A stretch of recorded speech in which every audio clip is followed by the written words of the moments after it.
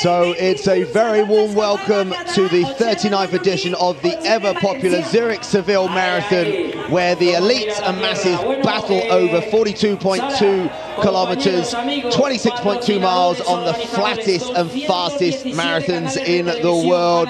It is a usual perfect weather here for February in the idyllic and beautiful surroundings of the wonderful city and region of Spain. I'm delighted that myself, James Thie, is joined by someone alongside me known very well by the Spanish marathon media, the fans and organisers, having won the uh, World Cup Marathon in San Sebastian in 1993. Richard Nerurkar, welcome alongside me, Richard, here in Seville.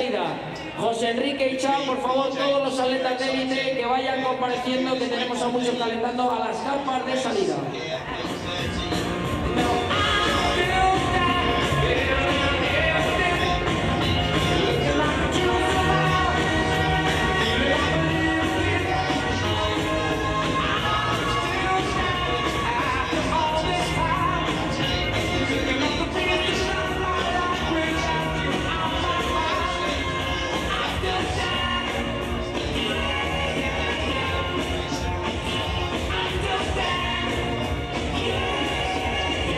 And as we've already said, it, the race prides itself on being uh, the flattest marathon in Europe. There's uh, one athlete that 25 years ago, Richard, made his name here in Seville.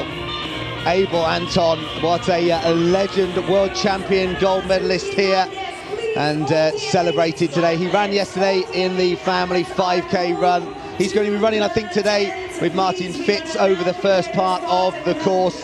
And it is a fast course, isn't it, Richard?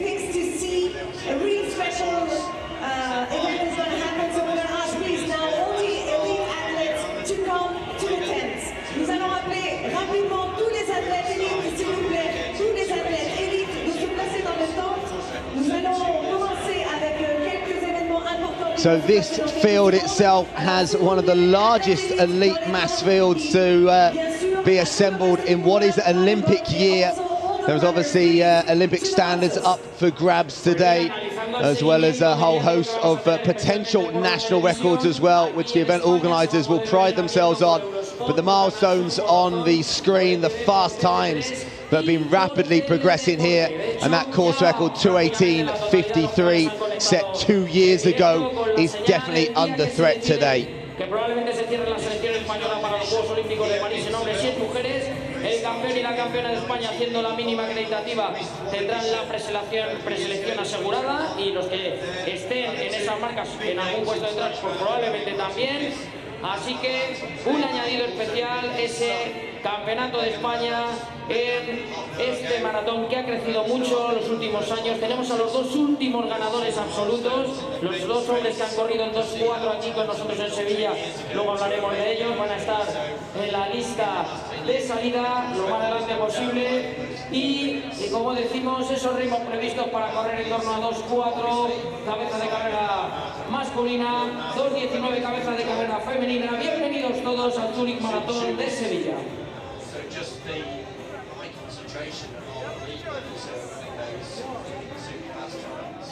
Yeah, and the conditions here in February are absolutely perfect. That is a, uh, a controllable here.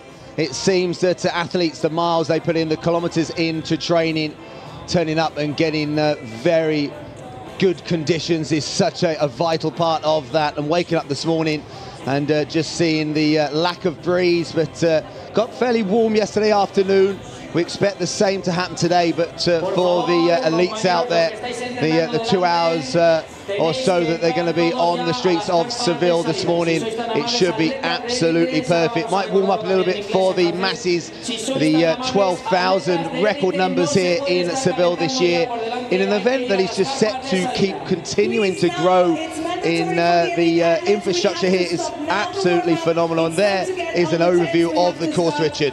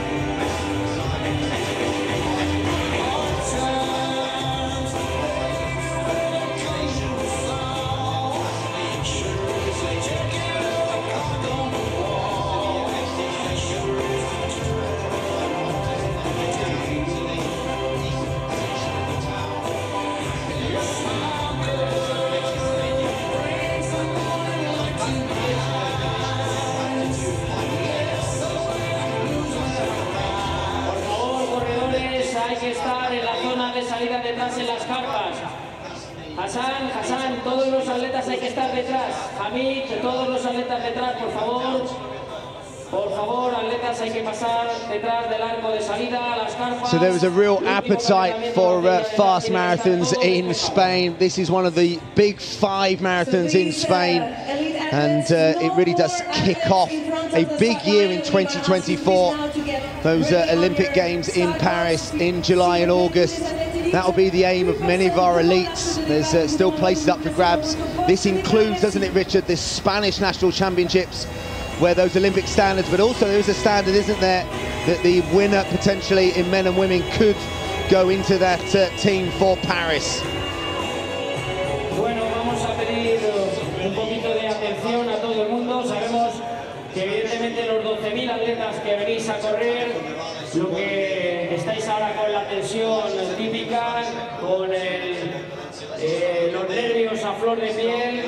Ethiopians Azra Abdirahman and Gedisu Behanu actually won here last year. So those are two of the three Ethiopians who've gone under 205.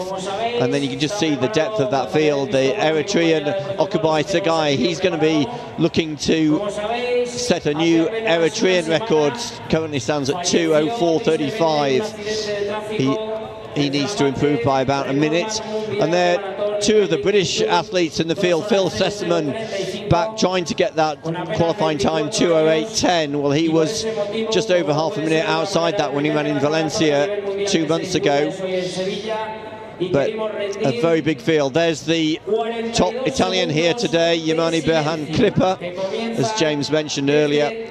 He is aiming for Olympic selection. Yeah, Crippa, what a talent. 13.02 over 5,000 metres, 27.10, as well as uh, decorated uh, performances over cross country as well. But that uh, personal best in Milan, 2.8.57, chatting to his manager yesterday, Gianni uh, Demadonna, Demadonna, he um, had trouble, didn't he, in Milan with uh, drinking far too much fluids, I think. So, uh, and I think it'll be about uh, less. So, um, in memory of Kelvin Kiptum. Quick look at the women's field. It's led by the Namibian Helalia. Uh, she has a, a, best time. She's the only athlete who's got a, a time of under 220.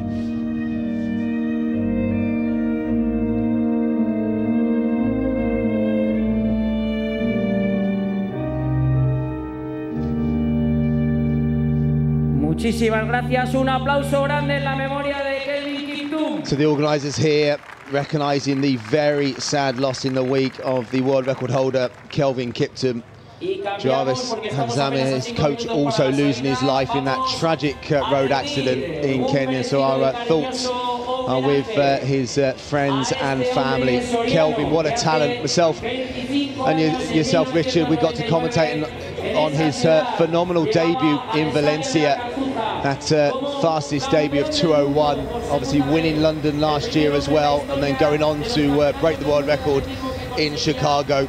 And again, what a loss, Kelvin Kiptum, at uh, just the age of uh, 24. So uh, again, very sad loss. So I'm sure the Kenyans out there today will want to run a very strong marathon in his memory. As the women's fields are on the the screen in front of us. There's a few Brits on that screen that uh, aren't running today. Natasha Cockram out with a, a knee injury, you believe, and uh, as uh, well as a couple of others are fast runners that are not towing the line today, Richard. Yeah, both uh, Calli Thackery and Rose Harvey, whose names are on the screen there, they're not here. Uh, I think they are hoping that they might get, or at least be considered in the first round of selection for the British Olympic marathon team. That first round of selection actually taking place tomorrow. Uh, Calli Thackery at the moment is the top of the list.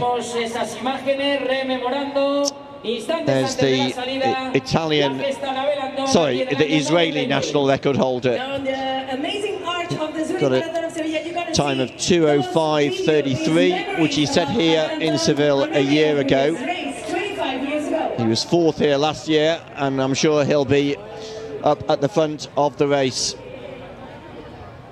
Yeah, he's another one with his eye on the uh, national record, that uh, 205 that uh, is uh, still pretty fresh. And uh, you can see the uh, alignment of the masses behind. So those elites on the front row, what they've classed as sub-elites just behind them.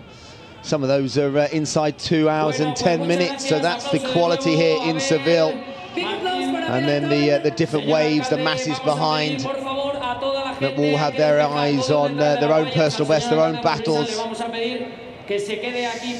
So there's last year's winner, Gadisu Berhanu, 204.59. So he was about 17 seconds shy of the course record set by his compatriot Azra Abdirahim when he won two years ago. See the some of the other strong club runners lining up behind the elite. Not the biggest field overall, just 12,000 participants, and roughly half of those 12,000 have come from outside Spain. So great for the local economy to be hosting so many international runners here this weekend. So welcome if you're joining us from around the world, around Europe. So many uh, different platforms, so many different uh, streaming services. Join us for the 39th edition of the ever popular Zurich Seville Marathon on the flattest and one of the fastest marathon courses in Europe. So we're uh, blessed with uh, very good conditions as always for February here. A beautiful part of Spain, wonderful city. And the uh, marathon organisers have uh, prided themselves on uh, amassing such a strong elite field, men and women. And there's the French national record holder, Amdouni. He's someone to look out for a uh, third place finish in Paris. So he would uh, obviously love to be on that national team for a home Olympics in just a few months' time, as well as the nervous faces of some of those that uh, would love to uh, join him for their different uh, countries.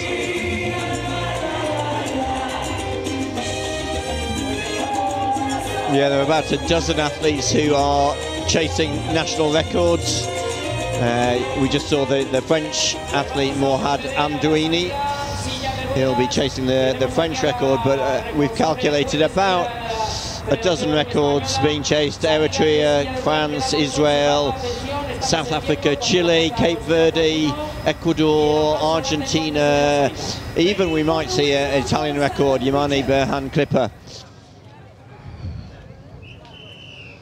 So the first uh, event, that's the uh, elite wheelchair athletes that are on their way.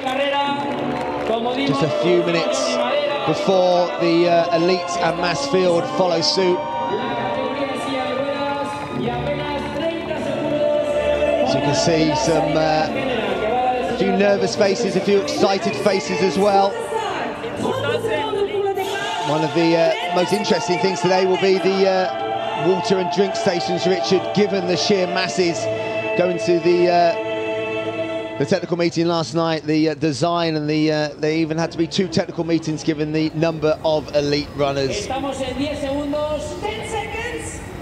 So 10 seconds away from the start. I think there's a one minute gap between the wheelchairs and the able-bodied.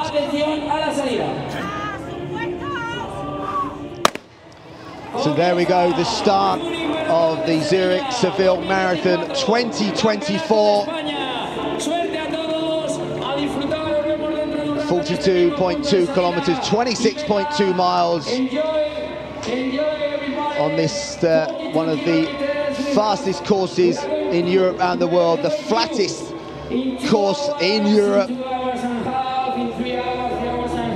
And conditions are playing ball and you can just see the masses, as Richard said, record numbers, 12,000 runners, it's sold out very quickly. So if you are looking to get involved in the 2025 edition, you're going to have to be as quick as our elites are out there right now. You'll see the pacemakers at the front, they're in those red and green split singlets. They're going to have a really important job in the opening kilometres. And the uh, expectation that they're going to go as far as around about 30 kilometres. The likes of uh, Evans, Kiptego, Yago, Douglas uh, Chebet and uh, Cheriot, just to name but a few of the paces that are going to be up there. So, Richard, the paces are, are just uh, in most of the uh, main marathons are just so vital, aren't they?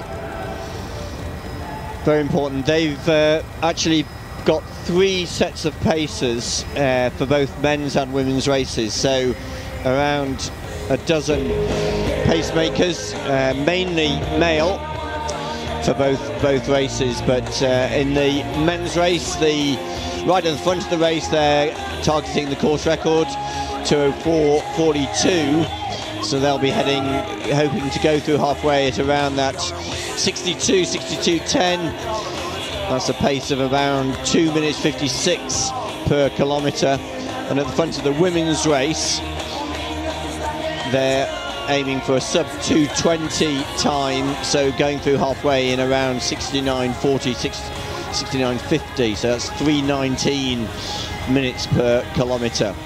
And James, as you say, that we'll be able to hopefully spot the pacemakers right through the field, well at the front of the race, but um, not immediately, obviously, because they're wearing those red and green singlets.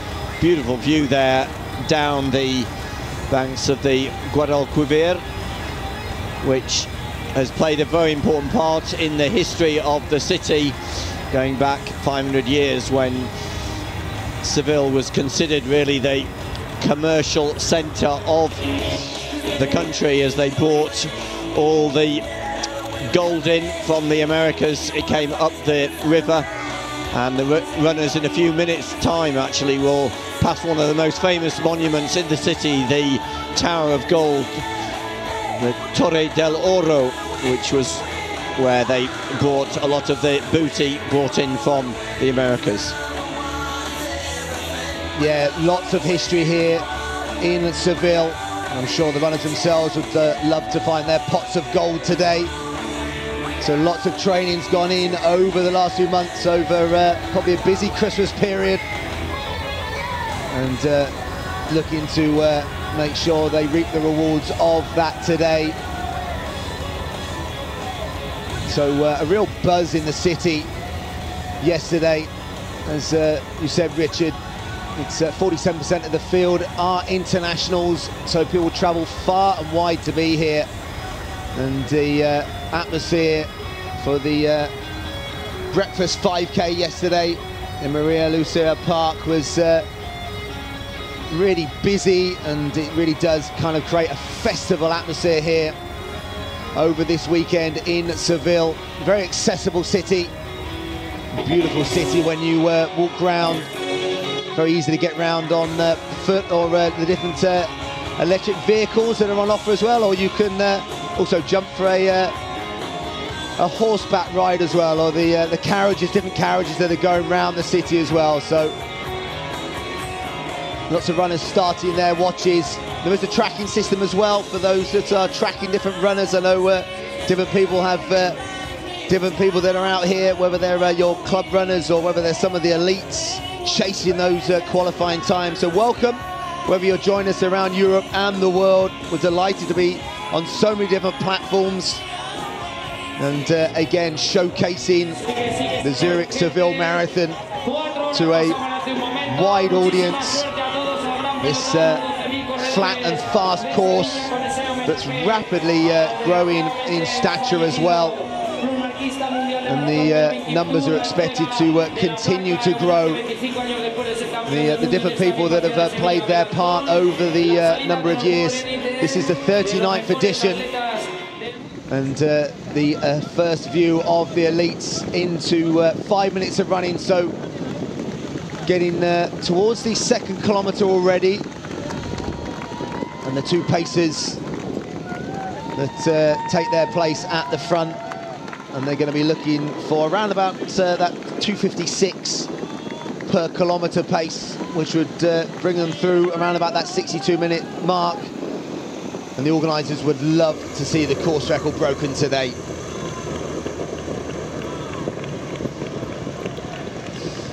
Yeah, the organisers make a, lot of the fact that this is the flattest marathon course in Europe. There's Yemane Crippa running his second marathon here today. Debuted in Milan last year. And back at the front, the two Kenyans, Vincent Kipkorir Kigen and Edmund Cheriot, being tasked with taking them through the first five kilometres in 14 minutes and 40 seconds. That's 2.56 minutes per kilometre. Another beautiful view heading west down the Guadalquivir and in in a few kilometres time just past the four kilometre point they'll cross over they cross two bridges first the Puente de la Barqueta to take them onto the island and then they'll come back onto the east side of the city which is where most of the city is situated. Uh, they go over the Puente de, la, de los Remedios just shy of the 12 kilometre point. You can see some of the beautiful buildings of the city.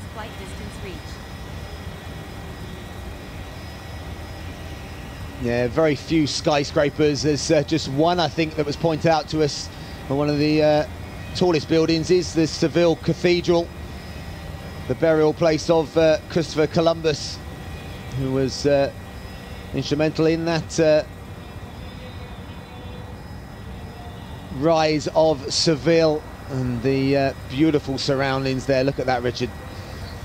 I think this actual stretch of road is called the Paseo de Cristobal Colon. Uh, it's actually the same road that they started on, but the the street section, uh, the name has changed from the Paseo de las Delicias to the Cristobal Colon. As you say, James, a very important and famous name attached to this city. But just coming back to the world of marathon running, Abel Anton, the great Spanish runner who's here today. He is so well known in Seville because of his victory here 25 years ago and the medals that all the runners will receive today are inscribed with the uh, his name and a, and a picture of him raising his arms when he won that great world title 25 years ago. Actually a slightly different course being the World Championships 25 years ago the race finished in the Olympic Stadium one of the three big stadia in the city the other two being the the two football stadia but the Olympic Stadium in the west part of the city around actually, actually I think it's uh, the district called Cartuja yeah hard to believe it's 25 years ago since uh, Abel's uh, famous victory. And he's uh, still very, very popular. They do love their uh, marathon running in Spain, and uh, the masses out there today will be delighted that uh, Abel's joining them for the first, I think, first 12 kilometres. I think you said his son's out there for the the full race. Whether he continues to give his son some encouragement. And as the field just settles in behind you can see uh, 36, that is uh, Vincent Kigen. He knows these streets well. He ran uh, sub 60 minutes in the uh, Seville half marathon back in January. And that's the quality of pacemaker you need. You need someone that's going to operate with um, enough ease through these uh, opening kilometres. And here the top female athletes. Again, they've got their pacemaker. Silas Kipkoech Mite has been tasked to take them through 69.40. That's Antonina Kwambai, the Kenyan, on the right of the screen in the white vest. She's got a best time of 2.23.20. So hoping to go a few minutes faster than that. She's right at the front of that group of elite women. Also in the field today, a fast Ethiopian, Asmera Gebru, got a best time of 220.48.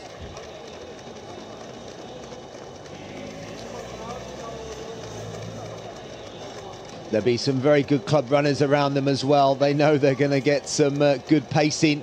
As well as a former uh, international runner there, I think that's Jose uh, Blanco, who I think was uh, with his peroxide uh, blonde hair, was a very good uh, steeplechaser as well. So there'll be lots of runners out there today looking for fast times. They know that these elite women are going to be very well paced in the uh, opening stages of the race. And then we really, really will see it start to develop as the race goes on. There's a Liverpool Harriers vest in the uh, front of the screen there. There's a uh, mid-pack shot. So pacemaking-wise, Richard, in the uh, elite women, so we're, we're, looking obviously at that 218 course record, but uh, yeah, it's going to be interesting to see how uh, the groups settle in this elite women's race.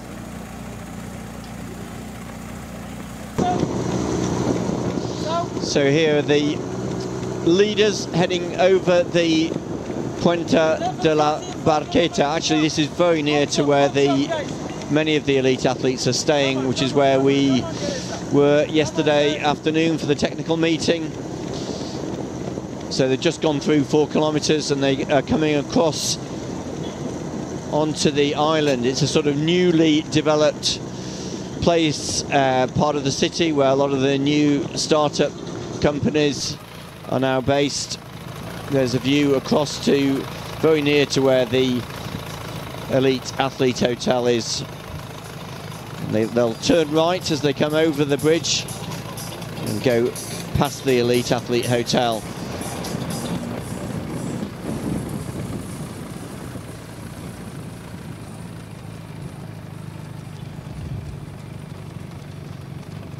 Yeah, many of the uh, elites last night were just uh, getting their last minute preparations, the uh, drinks that needed to be dropped off. That's such a vital part and uh, given that there's so many elites, there's uh, such a long length of tables and uh, the direction of the elites, that's going to be an important part to get their fluids on board. It's not just water, it's different solutions of carbohydrates and sort of different mixes of energy that they need to get on board regarding the distances that they cover and they will want their own personalised drinks and uh, often they're attached with gels as well. So that is going to be an important factor today. There is a little bit of tactics involved in positioning and making sure that they do navigate themselves over to the table and they do find their own drink on there as well. So I think that's exactly what's happening now. They're they've got one eye on the fact that they are probably just uh, 100 metres away from that first drink station at around the five kilometre point. That's why we're seeing a little bit of acceleration from, I think that's the Eritrean athlete, Akabai Sagai, who's moved across. Here are the tables, 20 tables, I think, for both men and 20 tables for the women and the elite athletes trying to find their their bottles at this first station. Well, remembering what side of the road they're on as well, because I think a, a little look, they saw the table on the left-hand side. The men are on the right, and I think the elite women are on that left-hand side, aren't they? That's right. And last year's winner, Gadisu Behanu, it looks as though he's gone right through without bothering to take his first bottle which may not be the best thing to do, but that's what he's chosen to do. And here are the women, or certainly one of the one of the women. They are probably just sh shy of that five kilometre point, just under 15 minutes of running into the race. Yeah, they're just trying to be uh, conserving energy early on and uh, making sure that they do navigate them their way to that first drink station, which is made more difficult, obviously, with the uh, the sheer numbers of the uh, club runners and the uh, athletes around them that won't have access to those elite drinks tables. So they're going to have to make sure that they do site them. And it is about uh, a little bit of communication in that pack as well. These are uh, two pacemakers on the front. They've done a good job in these uh, early stages but expected to go to 30 kilometres, so uh, still lots of running for Cheriot, for Kigen at the front of the uh, early stages of the Zurich Seville Marathon 2024. Again, welcome if you're joining us from around Europe, around the world. This is a, uh, a very fast marathon. And we're looking for uh, course records in the men and women, as well as those Olympic standards. So uh, for Paris, 2.8.10 for men, 2.26.50 for women. And the uh, first Spanish athlete across the line today, if they're inside 209.40 for men and uh, 228 for women, they could book themselves in that uh, team for Paris. Yes, being the Spanish Marathon Championship, the first placed Spanish athlete in both men's and women's races, provided that they've got the times set by the Spanish Athletics Federation, they will automatically get a place on the Olympic marathon team for Paris. There's Gadisu Bahanu, last year's winner. 31 years of age, has also won a marathon in Montreal two years ago, ran 209.25 there, and then improved considerably his best time when he won in Seville last year. He won in 204.59. So the opening five kilometres, 14.32. So uh, it is quick up front at the moment. That's a, uh, a fraction inside what was expected. That's operating around about 254. So uh, it's a really good start, and you can just see the strength of that pack that's uh, gone with that. And the uh, look down the list, Crippa's gone through in 1450, so we're just at the back of that group. So uh, he's operating around 258. And uh, the Brits coming through, I can see Phil Sesemann and Johnny Mellor tucked right in that uh, that 2-8 Olympic group, having passed the uh, five kilometres in uh, a shade inside 15-10. So uh, it's a good start at the moment for the uh, front of the group and also that uh, Olympic qualifying group as well. And their little shot of the carbon and foam shoes that have changed the landscape alongside uh, nutrition and also the uh, footwear that's probably enabled even more kilometres and uh, training volume to go in, Richard. So uh, there's uh, definitely, hasn't there, been a shift in marathon times over the last few years? Well, I mean, here in Seville, the course record 204.42, as we were saying 10 years ago, course record was 208.33. That just gives you a sign of how things have moved on in the last 10 years. Here's the front of the women's race. That's uh, Antonina Kwambai, Kenyan athlete. They're come by to uh, 23.20 from Toronto back in uh, 2022. Just behind Kwambai is the Namibian athlete Helalia Johannes. She's got the best time 2.19.52 from just over three years ago in Valencia. So she's the fastest on paper today. I think there's about four or five women who've gone off with the pacemaker Silas Kipkoech at the front of the women's race. We're now back at the front of the men's race. A much bigger group of seems to be Kenyan, Ethiopian, Eritrean athletes. I think there's also the French athlete up there. Morhad Amdouni and the Israeli athlete Gashau Ayale. And this is, they're going through seven kilometres and although their special drink stations are at 5, 10, 15 every five kilometres in the places in between, so roughly 7, 7.5 kilometres and then 5 kilometres further down, they've got water and isotonic drinks. Yeah, it will be about taking on as many fluids smartly as possible as we uh, see them go through these early stages. They won't necessarily be feeling like they need to take on too much, but uh, it will warm up slightly here. It was cool this morning, but uh, expect a, a, little rise in temperature as the uh, next hour or so goes on. Just before the start of the race, the uh, the sun was still just coming up, so uh, there will be a slight rise in temperature. And you can see just a couple of athletes dropping off this lead group at the moment and uh, seemingly trying to get back. That could have been uh, taken advantage of a drink station or the confusion at the drink station. But are still the two pacers looking uh, very comfortable at the front. And that opening exchange means we are uh, setting this race up very nicely in these uh, early stages. So expect the pace to settle down somewhat over the next few kilometres. Well, this is where it becomes quite hard if you get dropped from that group. There's a group of about, about a dozen athletes who are behind the two pacemakers.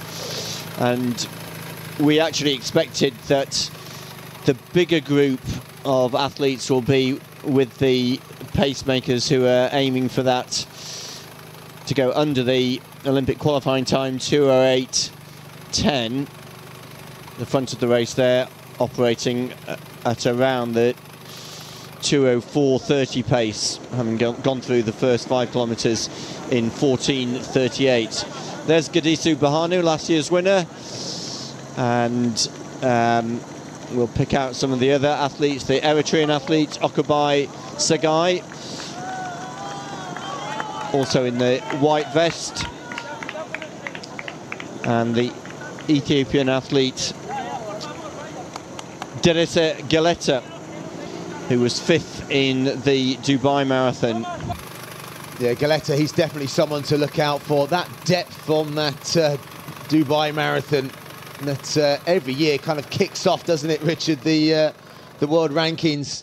And uh, that's definitely one thing that uh, this year, I think the top five times in the men set in uh, Dubai this year already. So you can see on the screen there, so 16.51. So a slightly conservative first five kilometre split. You can see that 38 seconds outside course record pace. But still very early stages in this uh, elite women's race.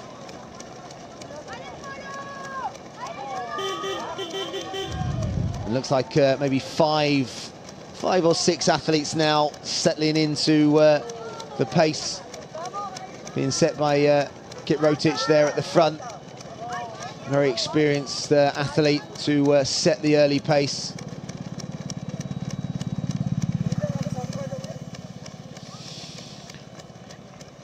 There's the stats for Antonina Kwambai, the Kenyan athlete. Personal best set in Toronto 18 months ago. 223.20. So starting out pretty conservatively, 38 seconds slower than course record pace, but with plenty of time to make up ground.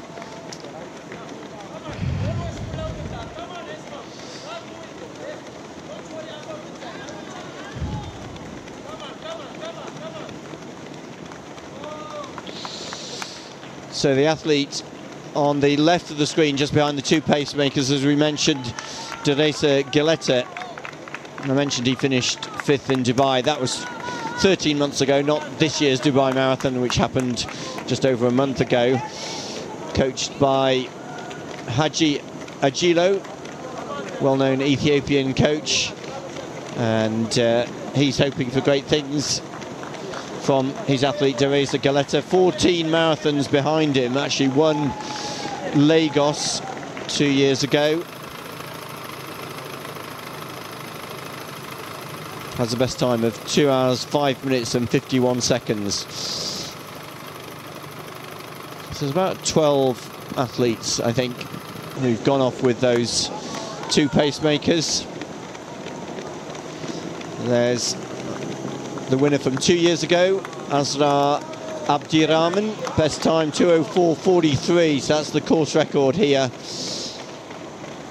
And great that the organisers have managed to bring back the winners from both last year, Gadisu Bahanu, and from two years ago, Asrar Abdirahman, both Ethiopians trying to continue the Ethiopian dominance in the men's race.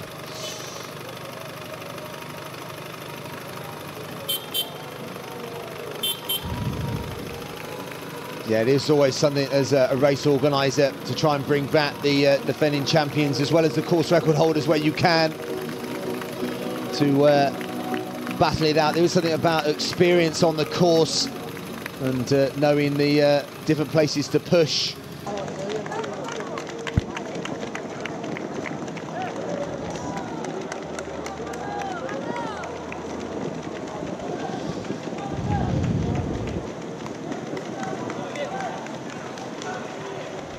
Just a little uh, exchange. Oh, as they almost talking pre-drink uh, station. And someone picking up a drink and putting it down again. Well, that might not be helpful for a, uh, another runner behind. So, uh, yeah, a little bit of confusion again at drink station number two, Richard. I think it came just before the 10 kilometre point because we're not not yet at 28 minutes and that 10 kilometre well the second drinks table is obviously a few hundred meters short of the exact 10 kilometre split point.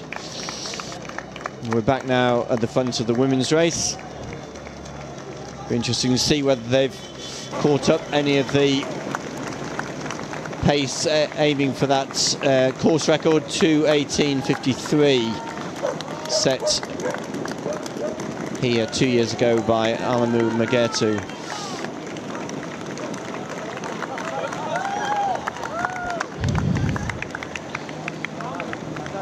There's the Eritrean, Okubai Segai. Tall athlete in the white vest in about fourth place behind the two pacemakers. There's about a dozen athletes there and a couple already starting to drop off. I think they probably lost a bit of ground at that last drink station. Yeah, we're seeing that little bit of disruption in there. And uh, Segai, he's definitely someone to uh, look out for. 205.20 in Berlin last year. So uh, a great shot from the uh, the side. You can just see the uh, the pace, and uh, there's just a couple of the national records. And uh, Segai, who we just mentioned, operated inside his own national record. And really as well, the uh, Frenchman is uh, again operating way inside his in that opening 5K, but they're not far. There you go, over 10 kilometres now. So around about 29.10. So I think they've maintained that uh, 14 and a half minute pace through the uh, opening 10 kilometres. So it is quick here, Richard, isn't it?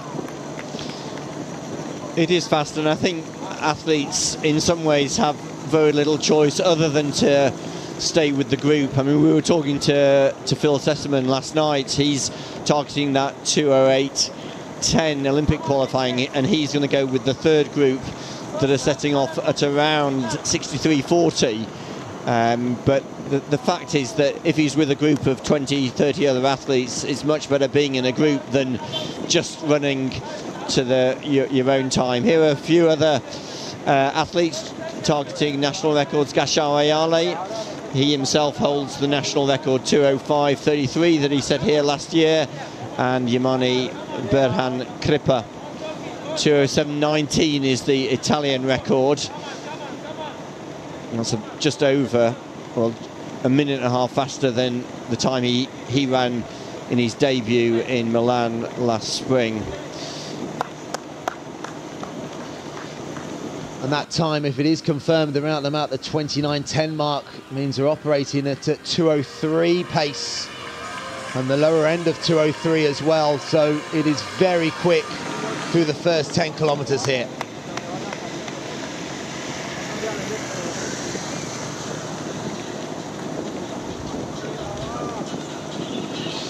Few of the other national records that are being chased. Carlos Martin Diaz from Chile. He's also under the national record. The national record actually set by his compatriot Hugo Catrileo in Houston just last month. He ran 208.44. So he's not on our screen. He'll be in that third group. But around a dozen athletes are hoping to set national records here. As we mentioned, around 15 national records have been set here in Seville over the last two years. So rather like Valencia, this is another marathon that prides itself on the large number of national records that are set every year. It does, and uh, many athletes backing up from uh, Valencia. So uh, enough recovery from early December and then uh, coming back out of a marathon block and uh, someone like Phil Sesemann, who you've already mentioned, doing that and uh, getting confirmation that that third group are right on pace at the moment on that Olympic qualifying. They've passed 10 kilometres in around about 30-10, 30-15 for majority of that field. Johnny Mellor still in there. The Irish interest, I think Fergal Curtin is also in that group as well. But uh, looks like the second group are operating at that uh, that 62-30 halfway mark. They're running that uh, consistent 258. Crippa is uh, again right in that group, so uh, he's uh, right on that Italian record pace. So inside that at the moment, that stands at 207.19, and he's operating around about the the 205 mark. So there's our elite women on the screen. You can see the masses there around them. There is uh, strength in numbers as they go towards themselves the uh, 10k split on the course.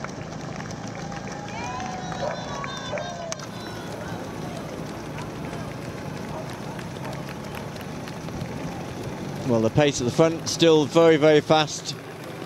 That group is starting to split up a little bit. So behind the two pacemakers, the two Ethiopians, Gadisu Bahanu in the white vest and Derese Geleta in the blue and white vest.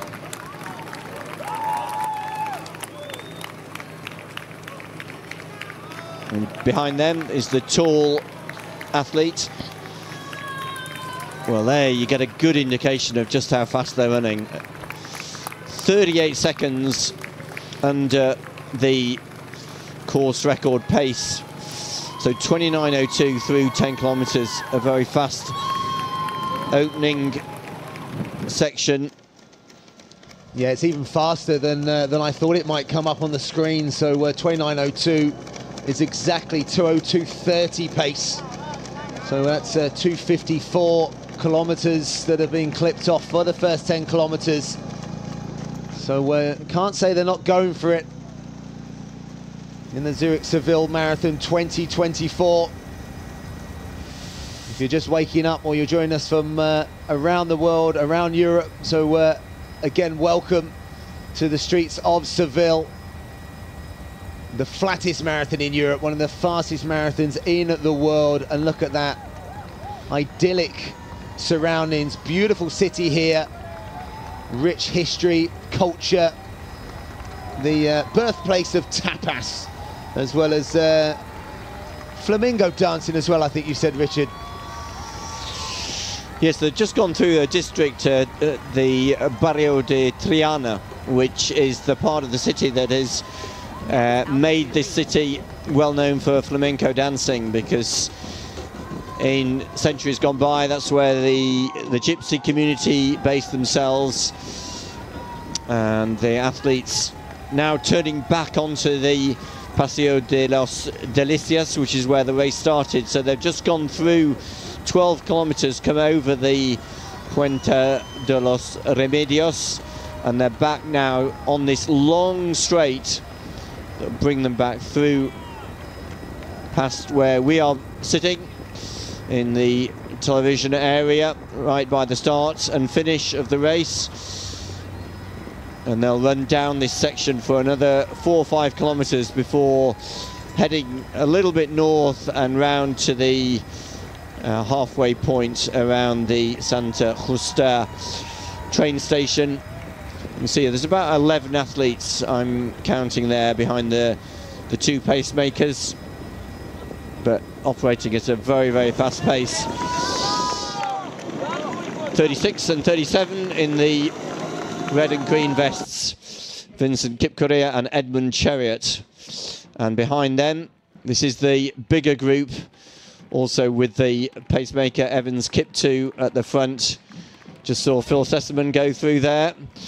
So they're operating at around that 63.30, 63.40 for the first half.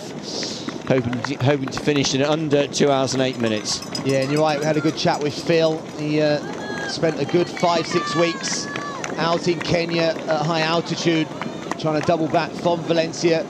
Said it wasn't without a few little niggles and uh, issues, but if you're uh, covering 130 miles a week and uh, the double training sessions that need to be done on multiple days, that uh, it won't be without some little road bumps, but wouldn't it be great to see the Brit get inside that time? As there's the split the uh, 33 45 10 kilometers so uh, a minute outside course record pace. So it would need a, uh, a rapid acceleration into the second half if we are going to get a course record but it is a really good race at the moment because there is uh, strong depth in that uh, elite women's race as they're uh, 37 minutes in so over uh, 11 uh, kilometers now past there's great noise out on the course as the uh, different sponsors and supporters with their different sections.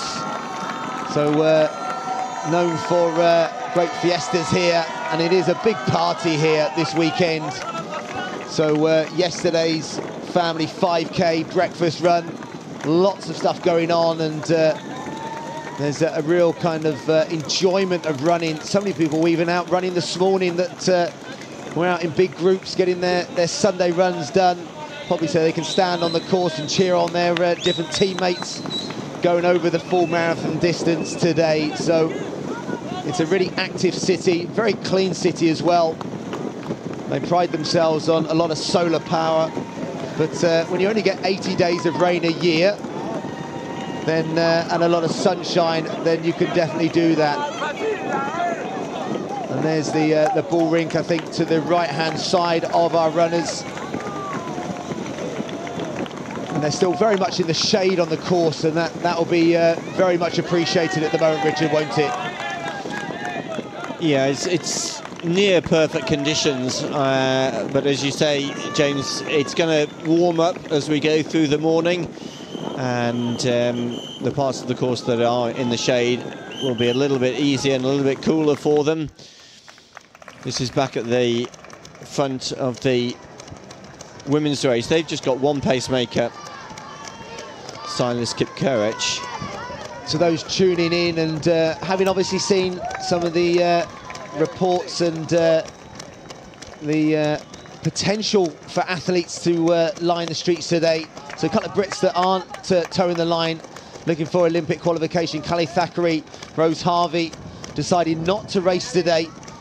So we're hoping uh, for obviously Olympic selection, and that's always a, a thing, isn't it, Richard, of uh, whether to stick or twist to uh, to go again because there is such a tight window. Some of these athletes have to; they have to get the qualifying times. And then uh, also there's uh, some very fast marathons coming up, aren't there, over the next few weeks and uh, months.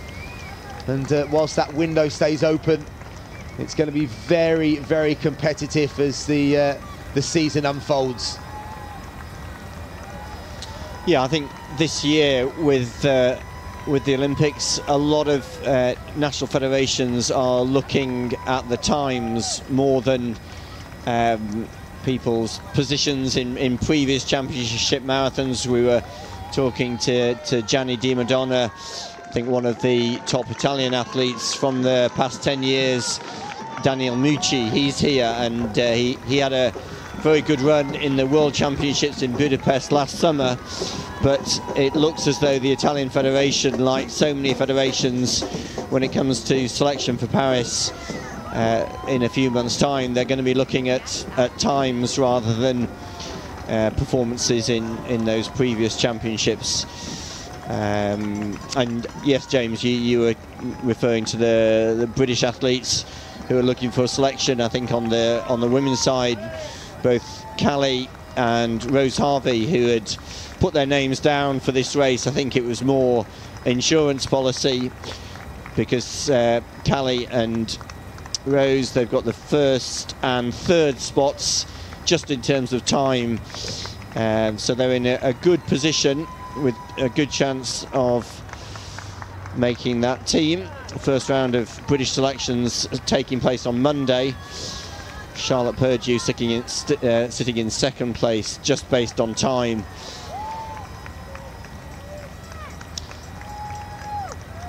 So just on the screen there, a couple of uh, potential records. A Ecuadorian record potentially under threat in the uh, elite women's race. And a great aerial shot there as we uh, come along the riverbank here. And uh, big numbers out already this morning on various points of the course. And uh, doubling back, good spectator course as well if you uh, plan it right, it's about seven different points. I think you can see your runners out there. So if you are coming out to support a, uh, a group of runners or uh, individuals, that it is uh, a great city to come out and uh, enjoy and spectate. And uh, it is very friendly as well in terms of getting out and about around the city. So it's still very calm and the temperatures almost perfect for marathon racing this morning. The uh, February weather is uh, pretty consistent here in Seville. And it does uh, take away one of those variables, those uh, different things that runners sometimes can't control. But uh, the course and the weather do seem to play ball here in Seville. So 43 minutes. So thinking that uh, the athletes, I think, have gone through 15 kilometres. Wait for that split, Richard. Nice shot there in the red vest of the course record holder, Asrar Abdirahman. Won here two years ago. So they're the two past winners of this race. Gadisu Bahanu in the white vest and Asrar Abdirahman in the red vest. They're right at the front of this group of around 12 athletes.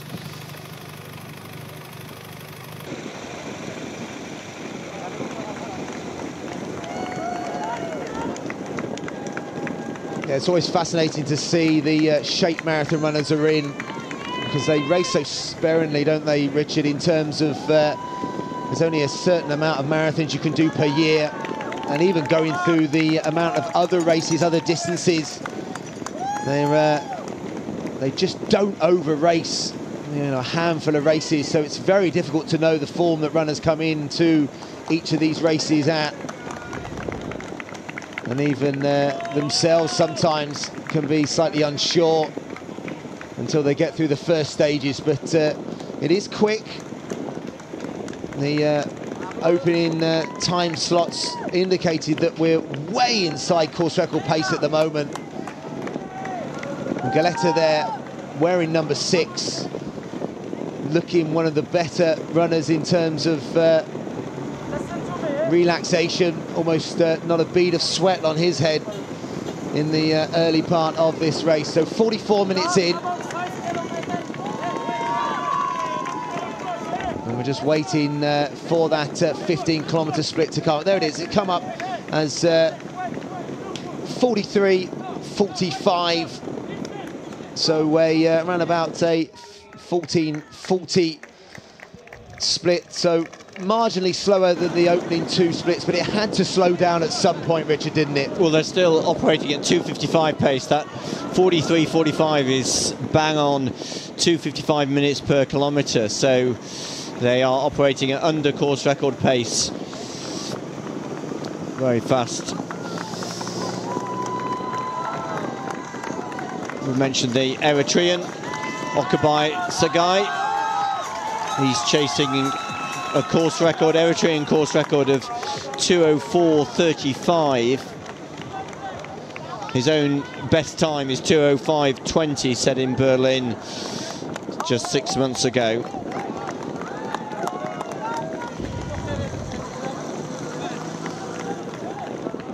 And here's the 15 kilometre point. Even one of the pacemakers slowing down considerably, trying to find his bottle. Think the pacemakers have been asked to go to 30 kilometres. In the orange vest, the French athlete Morhad Amdouni. And there's the Israeli athlete Gashau Ayale, finished third in the European Championships marathon in Munich two years ago. And finished fourth here in Seville last year, so knows the course. That was a great marathon, wasn't it? Richard Ringer coming down that home straight in Munich for the win. And interesting this year in the European Championships that it's a half marathon. It's not a full marathon, isn't it, in Rome in June. And that does mean some of these runners that, uh, these Europeans that do qualify for Paris, that they've got the chance to go over a half marathon, which I think is a, a really good decision, isn't it? Rather than uh, sort of dilute or try and ask runners to, uh, they wouldn't obviously be able to double, but uh, that's going to be a really interesting distance. So keep an eye on that and uh, love the split screen. So some uh, great footage that we're getting here and I hope you're enjoying it at home wherever you are from uh, the different networks picking this up. It's absolutely fantastic to showcase the Zurich Seville Marathon 2024. I think this might be one of the lowest points of the course, Richard. Yeah, and this is the leading Spanish athlete, Fatima Ouhaddou. She's got a best time 225.30. It's a really, really interesting Spanish race. We've got um, three athletes who are today racing and trying to actually get the what will probably be the, the third spot on the Spanish team because two months ago in Valencia there was a new Spanish record set by Majida Maayouf. She ran 221, so she's well ahead of the others. Uh, the second Spanish athlete who is not here today, Laura Luengo. She ran 225, but there were three other female Spaniards in today's race. Uh, they've all run under the Olympic qualifying time, and if they finish as the first Spanish female today, they will automatically get selected for Paris. So a lot at stake today for the athletes. Half an eye on finishing strongly and getting a podium place or winning a, a national championship title, but the other priority is to try and put themselves in strong position for Olympic marathon selection for their own country. Look at that, 38 seconds under 30. Yeah, it's, it's way inside, isn't it, Richard? 38 seconds, that uh, confirmation of that 43, 45, clocking through 15 kilometres, 44.21 was uh, when it, the record was set previously. And uh, Faniel is uh, in that group as well, the uh, current Italian record holder, so he is operating way inside that as well in terms of that uh, national record for uh, Italy. So uh, on the screen, Richard, a potential Argentinian record.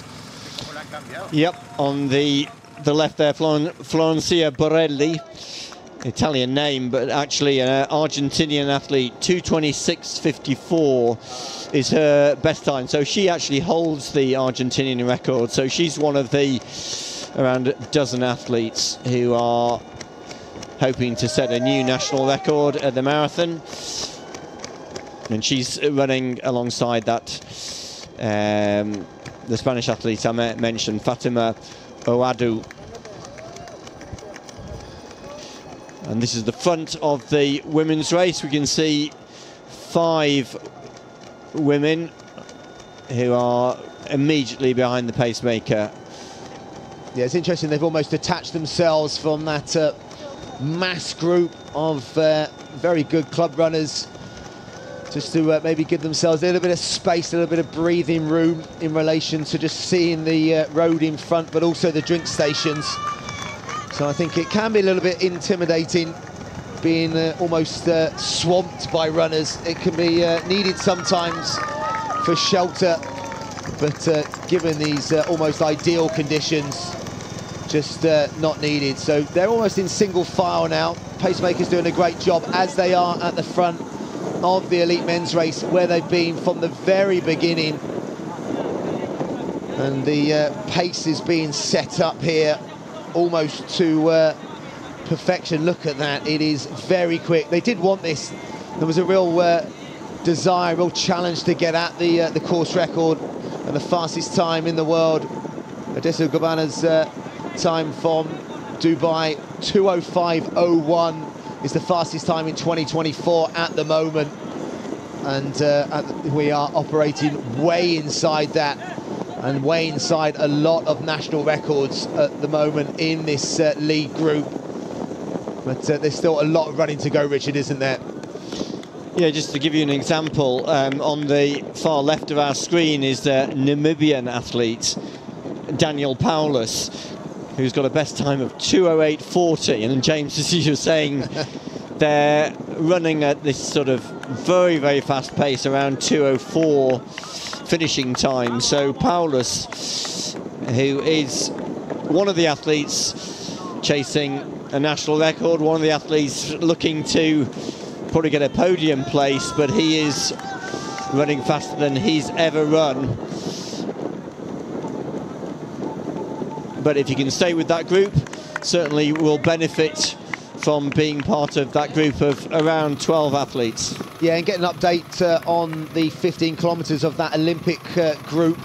So Dewi Griffiths, the Welshman, is in that group as well. They've gone through 15 kilometres in around about 45.30. So they are right bang on pace for 2.8 and just below that at the moment. Uh, Johnny Mellor in that group, Phil Sesemann, Fergal Curtin. So there's uh, really good kind of British and Irish uh, contingent, as well as a whole host. I think it's around about 20 athletes at the moment going through in that uh, third group. There's a, a, few splinters on the road, so uh, but in terms of pacing groups, we are operating around about uh, the 202.30 mark at the front. And uh, it looks around about the uh, 204 being the second group, and then that 27, 28 group being the Olympic chasing group. So the three pacing groups are definitely doing their jobs at the moment.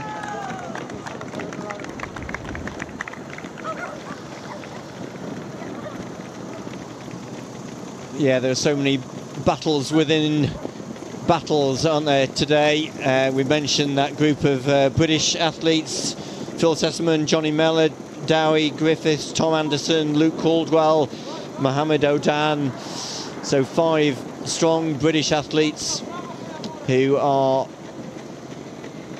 all in that group. On the Italian side, Yemaneberhan Crippa is uh, the leading Italian athlete, but also running for Italy and hoping to get selection is the 38-year-old Daniele Meucci. He went through 15 kilometres, also in that 208 group, 45-32 at 15 kilometres. That's why that group is just so big.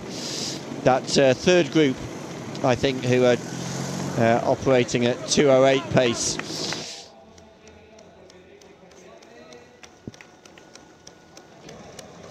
So the front of the women's race, we've got the Ethiopian athlete Asmera Gebru. Yeah, 220.48 from uh, Amsterdam five years ago. So this would uh, be her getting right back to form as the uh, chase group behind in the uh, elite women's. So there's a, strong number of runners in that uh, that chasing group. Chasing, I think it's uh, five or six now that have pulled clear.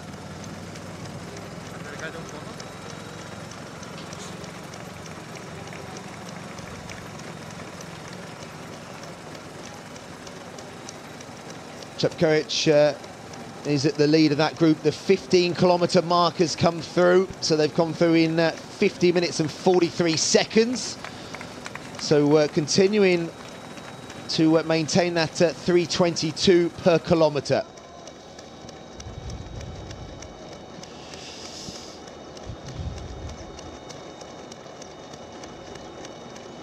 which is a uh, 222 pacing at the moment. So outside course record pace, but uh, operating for some of these athletes right on personal best pace. It's back to the elite men's race at the front. The two pacers in those uh, red and green vests. There's uh, just a couple of athletes coming off that lead group now. You see the, the bike support just making sure that they are safe and there's uh, also one of our wheelchair athletes going through.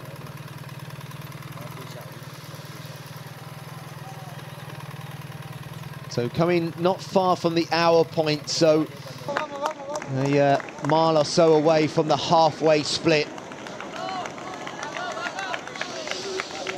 Also, ought to mention the prize money up for grabs today 15,000 euros for the winner, 7.5 second, and 5,000 euros for third. And there's a course record bonus 10,000 euros for both men and women. Yeah, as part of the World Athletics uh, Elite Label races and the uh, infrastructure and quality of races. So, uh, given the sheer size of the uh, number of elites, so uh, a lot of the elites make sure they get themselves here because they just know it's such an important race and the uh, importance of getting fast times out. And just see a couple of athletes there that have come off that lead group trying to get uh, confirmation of who they are as the uh, bike gives us an idea of that gap. And look it is fairly significant now. It's the best part of uh, four 500 meters I think there before we uh, even get back to the uh, the bike entourage as they weave in and out to uh, get back to the lead group. That's a big gap isn't it Richard? Yeah, it's quite hard for them, just two of them together. Uh, I think they might be able to help each other, but it's quite different to what the leaders are experiencing behind the two pacemakers, and they've got still around a dozen athletes all together there. Deresa Geleta on the right of the screen, one of the fancied athletes. Gadisu Bahanu in the white, who's been right there, right at the front of the group behind the two pacemakers. Freddy Paulus, who you mentioned, the Namibian record holder on the left of that group in that orange singlet. Just to get an impression of uh, how fast they're going, that uh, Eritrean that we mentioned, Okubai Sagai, well, he's still in that group, but he does look as though he's having to work quite hard, and it's not surprising. In fact, uh, course record holder from two years ago, Asrar Abderehman, also looking as though there's a bit of strain on his face. In fact, I think a few metres may have opened up, and that's not at all surprising, just uh, given how fast they're running. The two pacemakers still looking very good, still getting their instructions from one of the organisers on the motorbike on the just off off our screen. Yeah, the two Kenyans doing a very good job in what's been a very sad week for uh, distance running in Kenya. The uh, sad loss of Kelvin Kiptum, the world record holder, his uh, marathon world record from Chicago. The uh, very sad loss also in the week of Henry Rono, one of the uh, best ever runners to come out of the Rift Valley. That uh, we were looking at it last night, weren't we, Richard? That few months that he had in uh, 1978 where he was breaking world records for fun and uh, such a character and uh, such a, uh, a phenomenal runner. So rest in peace, Kelvin Kiptum and Henry Rono. As the uh, 20 kilometre split comes up on the screen and you can see 58.35, so 40 seconds inside course record pace. So uh, it slipped slightly from the very aggressive start to the race that we had, but we're still going at uh, around 203.30 pace. So we're looking at a halfway point, probably around about the 61.45 mark. And the French athlete, Morhad Amdouni, is still up there in the orange vest. 205.22 national record. And yep, as we thought, the um, course record holder, the winner from two years ago, Azra Amdi Rahman. Well, I was in Ethiopia, James, just a few days ago, and I did hear that he'd had been having a few injury problems in the build up to this race. And I don't know whether it's his uh, injury problems or just the fact that they are running so fast. But this is going to be a very tough battle for him as they the leaders going through the arch at halfway. Look how fast that is. Under 62 minutes. So well inside course record pace for the first half distance. It is and such a big group as well every single one of these athletes operating at inside 204 pace and as you said, the uh, course record holder He's finding it tough, but have a look at his watch and maybe uh, take some solace in the fact that he's operating still at uh, 204 pace himself. And there you go, confirmation of that halfway split, 61.49. So uh, when the course record was set here two years ago by the athlete that was just on screen, it was uh, 62.31, so 42 seconds inside that, and you can see after that very opening, uh, fast opening, five and 10 kilometer splits that it uh, has settled, but still getting uh, a few seconds here and there inside that course record. So pacemakers have a really important next uh, 10 kilometers. They can get these athletes to 30 kilometers. And in the, uh, the numbers that we've got on the screen at the moment, then we could see some uh, very, very special times. And uh, the chasing groups behind. We're waiting for their uh, halfway splits. The uh, athletes that have uh, been uh, putting around about 15.10 uh, per kilometres, that's the Olympic chase group. They've maintained that to 20 kilometres. And so they're going to be right around that 63 high to 64 minute low mark, which they wanted for that Olympic qualification.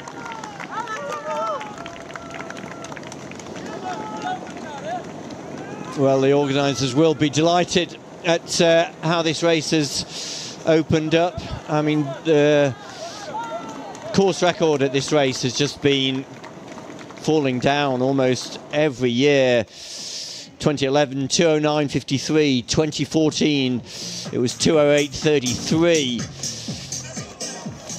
five years ago 206.36 and then two years ago 204.43 so every year it seems this race gets faster and faster. These are the women chasing the course record set two years ago 218.53 I mean we're always talking James aren't we about times course records. Of course, the athletes also hoping to build their reputation by winning big city marathons, and Seville is certainly moving into that league where people will be looking very closely at the results, even more so this year because of its significance for selection for so many national federations.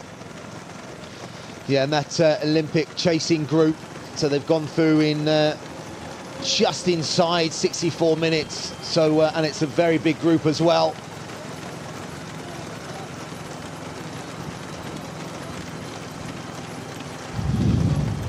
As the uh, split screen just showing the chasing group, showing our uh, leaders in this elite women's uh, race as they've gone through 65 minutes of running, so around about a uh, mile or so away from their halfway split. Again seem to be maintaining that uh, 322 rhythm per kilometre. A slight lean forward of the uh, the pacer who looks very controlled and the uh, luxury that the elite women have of the uh, the male pacers and uh, as I said it can be a help and a hindrance having the uh, masses of club runners around them as well You can see the club runners are often gravitate, knowing the the elite women will get certain pacemakers and the uh, help that that can uh, have to some very good club runners. Well, there is Fatima Ouhaddou in the red vest, hoping to win the Spanish championship today, but she's got quite a few athletes around her. I think that includes uh, Meritxell Soler, another Spanish athlete with the best time of 226.37. So, as I mentioned, three Spanish athletes very close, and it seems as though they are in that third group, a little way behind this group, which is the leading group of around uh, five or six athletes there. Number 40, Silas Kipkoech, the male pacemaker, right at the front of the women's race. We'll see if we can uh, pick out a few more names. We know that Antonina Kwambai is there from Kenya, the Ethiopian Fantu Zaudi. She's wearing number 306 yeah, there was a lot of talk, wasn't there, about the uh, the Spanish National Championships as the uh, personal best uh, rolling on the screen there. The French athlete, 226.58. And uh, operating inside that pace at the moment. But uh, yeah, big interest, isn't there? This being the uh, Spanish National Championships, obviously their trials for the Paris Olympic Games. And just a reminder that a 209.40 for men and 228 women's winning time in the Spanish Championships today could be good enough. Ignoring those uh, Olympic standards, but uh, those fast times have already been set in Valencia earlier this year as well, or early of end of last year, I should say, but uh, early in this uh, Olympic qualifying window. So, uh, yeah, there's still a lot to play for, but real excitement and uh, probably unknown in that women's championships as well of what could happen today.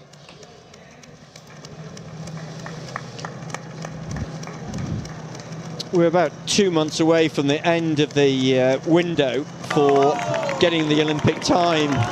Got some very big marathons coming up in the coming weeks. Tokyo in two weeks' time, Barcelona the week after that, and then we move into the season uh, in April with uh, marathons like Paris, Boston, and London, and uh, it's right at the end of April that the uh, window closes, so it will be over the next two months that the athletes will be chasing those times and trying to get their impress their selectors for Olympic selection. Here we are back at the front of the race.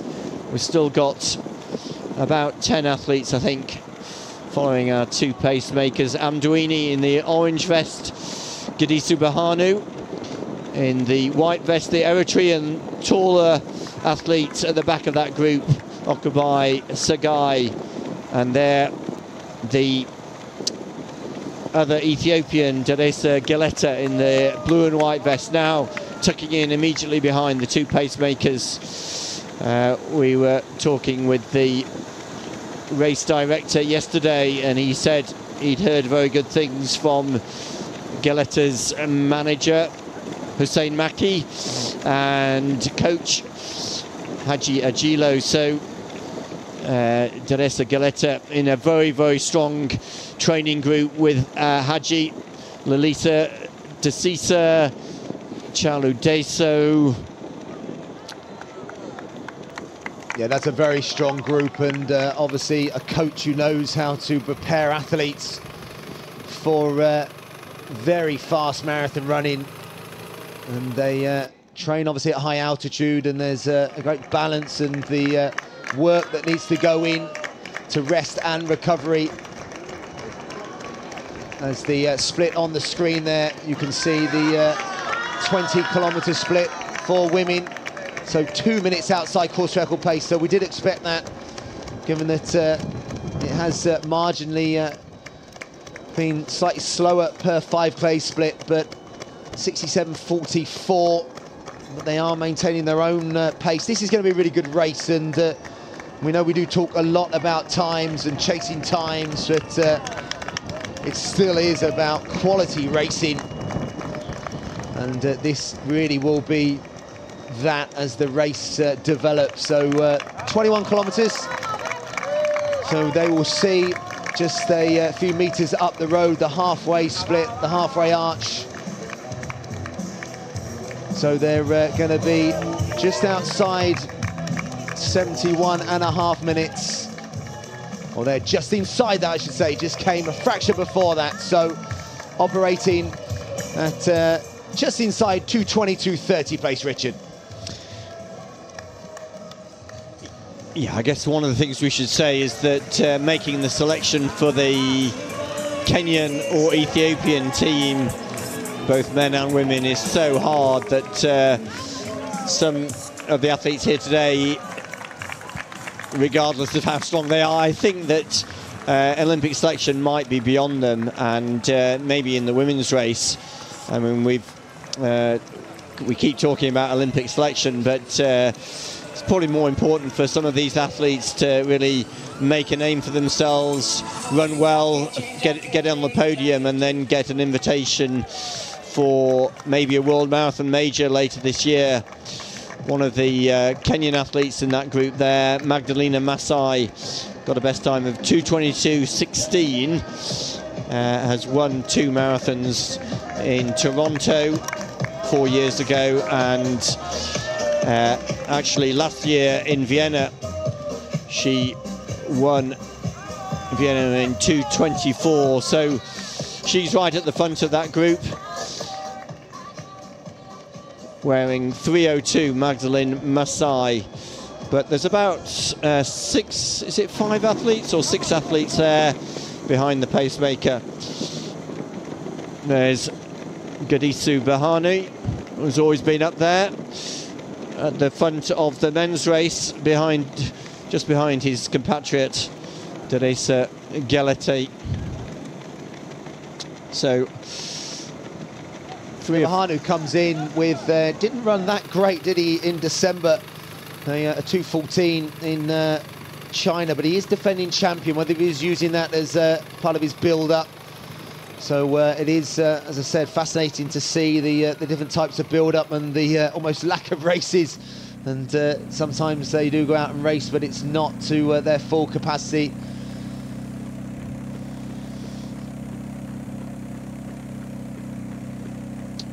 Well, we haven't talked much about the uh, men's race for the Spanish Championship, and this is uh, Chakib uh, Lachgar, Spaniard, went through halfway in 62.41. So, wow, national record for Spain. Well, we saw the national record being set in Valencia two months ago. Tariku Novales ran 205.48. He's actually here in Sevilla, Sevilla, but only as a spectator. Uh, is sitting out this one, hoping that his time, that new Spanish national record that he set, will be enough to get in the Olympic selection. But uh, Chaki Lachgar. so Ayad Lamdassem, who did hold the national record, didn't he, from uh, here a couple of years ago, 2022. That uh, 206.25 has gone through halfway, and uh, he's gone through in 63.15. So uh, he'll be chasing the athlete on our screen there. This is going to be fascinating in the uh, Spanish Championships, as uh, we've got athletes running very quick in the early stages. Yeah, I think one thing you'd have to say about Lamdassem is he's got a lot of experience now. 43, isn't he, Richard? 43 wow. years old, fifth in the Olympic Games three years ago. And actually set a national record two years ago in Seville, which has since been surpassed. Well, look at what we're seeing now. This is Deresa Geleta, who is really striding out and breaking clear of the others. I just wonder whether the pacemakers are still there. Yeah, it's a really good point, Richard. I'm looking for the paces and uh, whether they are still there and running at their pace or whether that is the chase group or whether it has splintered. So, uh, yeah, trying to get confirmation of that. Remember, Galatano was off the back of that group. and uh, he's now a chaser. Geleta there. We'll wait to see if he is uh, at the front. So that, that uh, 205.51 from Dubai last year. Well, I think he is out on his own. I think it's a very bold move. They've just gone through 25k. This is going to be a very long run for home. Well, he's certainly picked up the pace, getting instructions from somebody on the motorbike. I presume that's one of the organisers, but he is about 20, 30 metres up the road from a group of five athletes, but he's really splintered this group. Here are the two white vested athletes, the Eritrean Okubai Segai, and just in front of him, Gadisu Bahanu, who for so much of the first half of the race was right at the front, just behind the two pacemakers. Well, both pacemakers dropped out, I think, at, at that 25 kilometre point. And uh, Deresa Geleta has got a very long run for home, if that's indeed what he's he's planning to do. Uh, just behind him, that group of five athletes includes the Israeli athlete Gashau Ayale and the French athlete Morhad Amdouni. This is the other Ethiopian, Limonech Getachew. So I think he's now in seventh place. Those are the first seven athletes and Deresa looks as though he's settled down, still looks quite relaxed. There we have the 25 kilometre split, 73.29, so still operating considerably under course record pace, 38 seconds under course record pace as they went through 25 kilometres. Yeah, interesting, as you said, those uh, paces were expected to get to 30 kilometres, but it could be the uh, early stages, that early pace has uh, put pay to them going as far as the uh, organisers anticipated. But just look at that leg cadence, look at the pace that's being set. And the uh, pace up front is very, very quick. A little bit uh, more controlled in the elite women's race.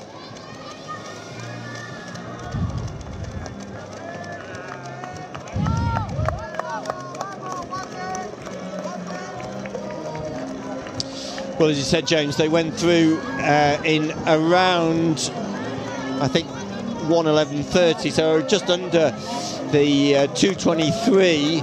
So, as you say, a bit more measured. Um, the, the Kenyan athlete Kwambai is still there, as well as Magdalena Masai. So two, at least two Kenyans there. And Ethiopian Fantu Zaudi is there. And this is a bit further back. There's another of the pacemakers.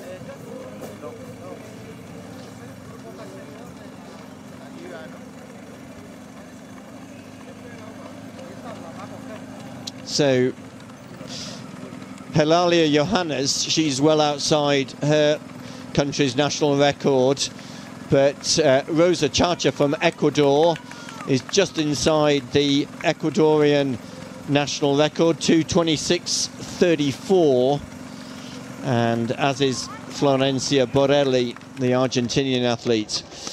There's Magdalena Masai, personal best 222.16 from five years ago but probably more importantly, she's got two marathon wins behind her from the six marathons that she won. Most recently, she won in Vienna last April when she ran 224.12. And there's the Argentinian athlete, Florencia Borelli,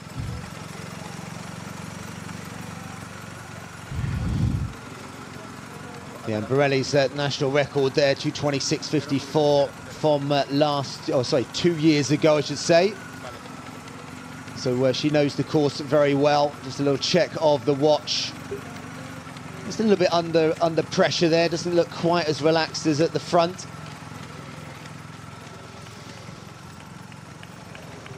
Yes, that's uh, Magdalena Masai. She looks pretty relaxed. Just still following the pacemaker.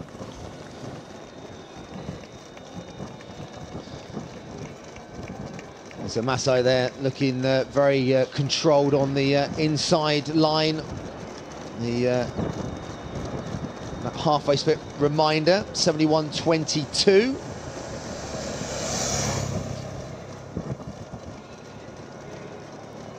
That's a uh, good shot, side-on shot, and a little uh, look at the the technique and the sound and noise of those uh, carbon and uh, foam shoes on the ground and you can hear the shouts from the side. Just to uh, give an update to our leader out there one hour and 22 minutes of running in the Zurich Seville Marathon 2024 as they pass 28 kilometers Richard. Yeah and that uh, group the chasing group behind him is split up it looks like it's the uh, French athlete, Morhad Amdouni, who's broken clear of that group of five athletes, and he's the one who's giving chase to the Ethiopian Deresa Geleta at the front. So now we've got three athletes who are detached from any group. There's the Namibian athlete, Daniel Paulus, who we said has I mean, his best time, 208.40. Well, he's operating at a much faster pace today. Deresa Geleta is just trying to settle into a pace that he know he can maintain, but he is really being chased down now by the French athlete Amdouni, 36 years of age, Amdouni. And there's Yemaneberhan Crippa running his second marathon here in Seville. His personal best set in Milan in his debut last May, hoping to improve on that time, 208.57. Well, there we get a good sense of how this group has really splintered just in the last 10 minutes. And uh, is coming back, isn't he? The, the Frenchman is uh, closing that gap. He's looking very, very strong in that uh, orange singlet, orange shoes, and the uh, athlete that made a big, big, great. It seems to be closed down now. The Ethiopian with the uh, Frenchman in his sights, and the uh, race is on. Look at this. There are gaps between each of the places. There's our leading Spanish athlete. Well, Chakib 211 11. Well, we said he went through halfway in under 63 minutes, and that's why they were showing he's under the national record set by Novales in Valencia. Well, good for him that he's actually now on the back of a group. I think that second group is um, being led by Douglas Chevy at that 206 pace. So be interesting to see whether Chakib can stay with that group. But James, you mentioned the, the more experienced runner, Ayad Lamdassem, also running today, hoping to win the national marathon title and uh, get the automatic place that's on offer for the first Spanish athlete in both men and women's races with the uh, qualifying time set by the Spanish Federation. So here we have, right at the front of the race, Geleta being overtaken or at least caught by Amdouni and being actually encouraged by the motorbike rider to run together if they can run together there's probably more chance of them maintaining this very, very fast pace. Amdouni, remember, started out as a track runner, won the European 10,000 metre championship in Munich six years ago, and then has moved up since then to the marathon. Yeah, he's got good pedigree, isn't he, over a number of different distances. So uh, sub 60 minutes half marathon, very, very strong runner. And uh, you saw that uh, little interaction between them. And I think uh, they would uh, welcome a little bit of help between themselves rather than to go solo because they're still not up to 90 minutes of running yet. So there's uh, still lots of kilometres here on the streets of Seville. Welcome if you're joining us this morning, or wherever you are, time zones around the world, around Europe. We're delighted you've joined us for the Zurich Seville Marathon 2024, known as Europe's flattest marathon, one of the fastest marathons in uh, Europe and the world. So uh, the race is going from strength to strength. 12,000 runners sold out this year again and uh, it's 47% internationals that travel here. Very accessible city, beautiful city. And uh, you're welcome in February by almost ideal marathon conditions and the uh, masses you can see of uh, club runners that uh, are out there also looking for fast times and you can see tucked right in that group. There we go, 25 kilometers for our elite women, 124.40 so uh, that course record, we can almost forget that now.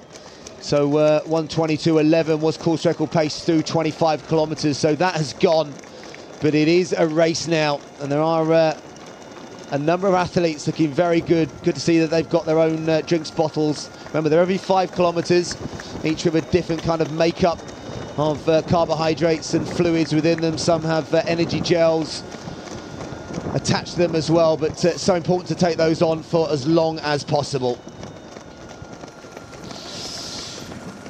Yeah, on the left of the screen are the leaders in the women's race. On the right of the screen is the chasing group, including the uh, top Spanish athletes, Fatima Ouhaddou.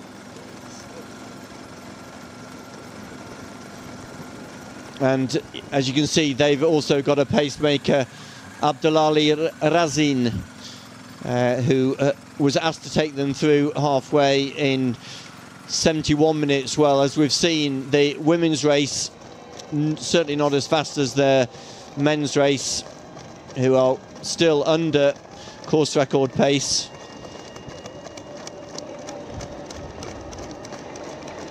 Yeah, the next split that uh, will be coming up very shortly, that 30 kilometres and that's going to be interesting to see if they have maintained that pace, being that the paces have gone and it is now a, race, and you can see them already starting to take chunks out of each other. There's uh, the elite women on the uh, back of these uh, very good standard athletes, running around about the 222 mark, so you can just see the depth. Carrie Hanlon there, the uh, Irish Masters athlete at the front of that group. So a little look of the pacer as the uh, athletes are uh, still tucked away in that uh, group. So uh, they're coming towards the 90 minute mark of running.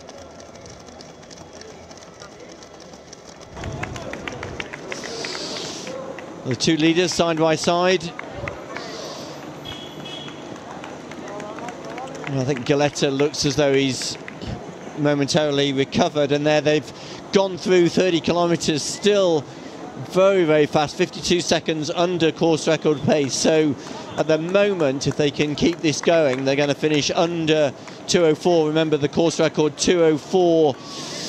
43 set here two years ago. They're operating at around 203.30 pace. And uh, now that the two of them are together, maybe they can help each other. That's certainly what the uh, encouragement is saying to them from the side of the race on the motorbike. If they can keep going together, push each other towards a fast time. And just a bit further down the road there is the Israeli athlete Gashau Ayale. They, these are the third and fourth place athletes. Well, going back, that uh, European marathon record, Bashir Abdi's record, 203.36. So when he could he get towards that uh, European record, and that will be something the organisers absolutely love. There's a great sight there of the orange trees that uh, line the streets here of Seville. And there you go, already passing 31 kilometres. So next kilometre will be kind of significant because that will signal, you know, a 10 kilometre push towards that finish.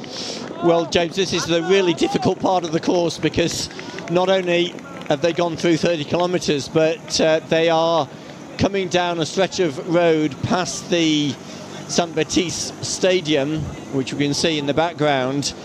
And in a few seconds, they're going to actually see the the finish line. And that's the, the strange thing is that this part, piece of tarmac actually takes them right past the side of the finish straight, and then they have to branch off towards the Plaza de España. And uh, oh, there's the Eyob Faniel the uh, Italian. Yeah, look how athlete. much he's inside his his uh, own national record set here a couple of years ago, and look at that, 120.06, and uh, Crippa a little uh, few minutes down the road behind him. So this is very fast running by the Italian athlete there. Wearing the uh, the vest with the, uh, I think that's the police, isn't it, that sponsor or look after the uh, many of the Spanish, uh, Spanish, the Italian athletes here. And as he's on the streets of uh, Spain in Seville, running very, very fast. As our two leaders are on the screen now.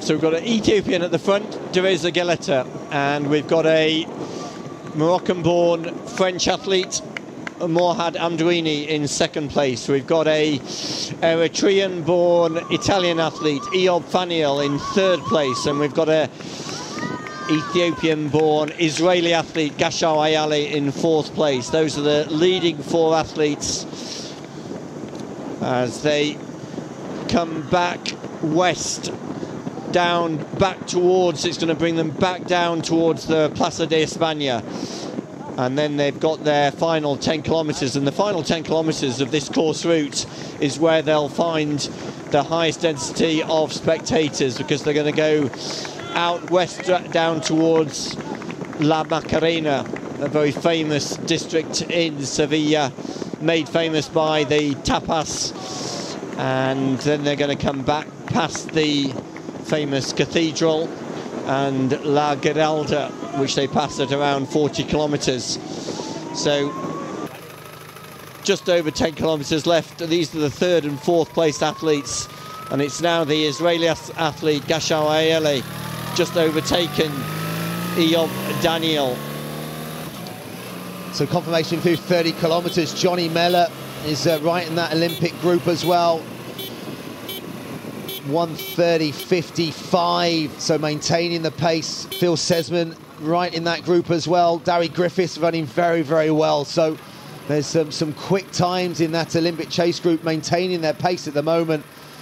The uh, around about uh, 15.10 per kilometre, uh, per 5k split. So uh, around about 301, 302 kilometres split. So uh, at the moment. Some very quick times by the, the, British contingent out there at the moment. But again, still uh, a lot of tarmac, as Richard says, a bit of psychological warfare going on as you go past the uh, the finish. You can see the finish, but you've got to go back out again. That's never easy on a, a Sunday run when you come past your uh, or near your front door. Whenever you've got to head out again for another few kilometres. So there's our leading women on the screen. And uh, their next important uh, time will be that uh, 30 kilometre split as well. And they're uh, still five or six in that leading group.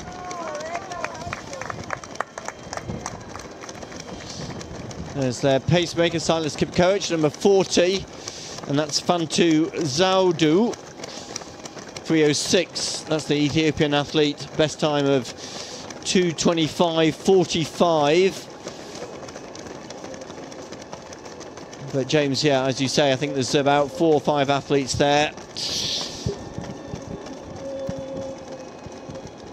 Four or five females, sorry, uh, just behind the Kenyan pacemaker at the front of the women's race. Yeah, just going back to the, the British athletes, as you said, James, uh, Phil Sesemann, Johnny Mellor going through in 130.55 through the 30 kilometre point. That is bang on 207.30. So Uh, Phil and Johnny having a great race so far. Phil said to us yesterday he'd rather be a little bit ahead of schedule of the uh, Olympic qualifying time as he comes towards the final five kilometres, and that's exactly where he's heading. Both of them running incredibly well. As in these two on the screen in front of us. So, uh, and we're chasing at the moment maybe a European record as well. And Rennie there, the uh, Frenchman on the left-hand side, or he was on the left, he's now switching. A little bit of tactics as they go through that slight cobbled section. And Geleta there, the uh, leader. He was the first aggressor as they passed 33 kilometres. He was the first to really kind of uh, throw his uh, cards down onto the table. And he got closed down, but he's not afraid to go back to the front again. So uh, really no form and uh, very little racing, so it's just fascinating again. He obviously's uh, put some really good training in to come here with the confidence to uh, push on. You can see the gap behind as the chasing group or the chasing duo go through. I think around about uh, 20 seconds behind Richard. And this is the famous Plaza de España. They're actually going to do a sort of extra loop just to take in at least for us, the viewers, uh, the beauty of this part of the city, right in the centre of the city, which is where we were yesterday just watching the end of the five kilometre breakfast run.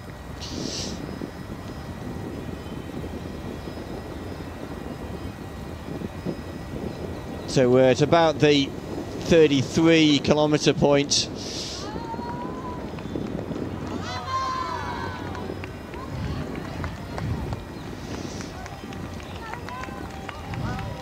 as we've been saying all day, a very, very fast course, very little elevation to talk about. The what they say it's the fastest and flattest course in Europe.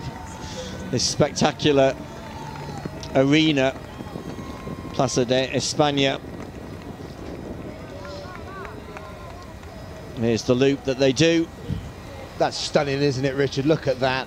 There's a Max uh, altitude reached a lot of history here and uh, very, very busy yesterday with uh, lots of tourists out, lots of uh, people on the little gondola boats going around that uh, little bit of water you can see in front, but uh, that is absolutely spectacular. And uh, great noise and great sounds, but they can hear and almost sense that end part of the race, but still lots of kilometres. And that fatigue will now be starting to uh, be felt from that aggressive early pace. The loop is uh, completed. A bit of confetti being thrown on the runners there. So it is a bit of a, a party-like atmosphere here in Seville on this uh, beautiful February morning and uh, at the moment, the organisers will be uh, delighted. Two athletes are uh, heading way inside course record pace as we come up to an hour and 40 minutes of running. And I tell you what, at the moment, we're operating towards European record pace. Well, the Italian athlete, Eyob Faniel, now in fourth place, losing a little bit of ground to Gashau Ayale, the Israeli athlete, who's now maybe 20, 25 metres up the road as they head out of the Plaza de España. But the front two, Geleta and Amdouni, seem to be still full of running.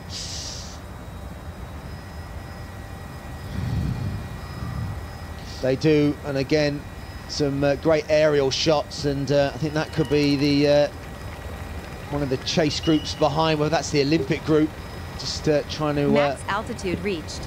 Make out some of the runners there, and look at that. That is absolutely spectacular. And uh, the burial place of Christopher Columbus and the history, and just look at that. There's a real kind of uh, concerted effort to uh, not spoil the skyline here in Seville.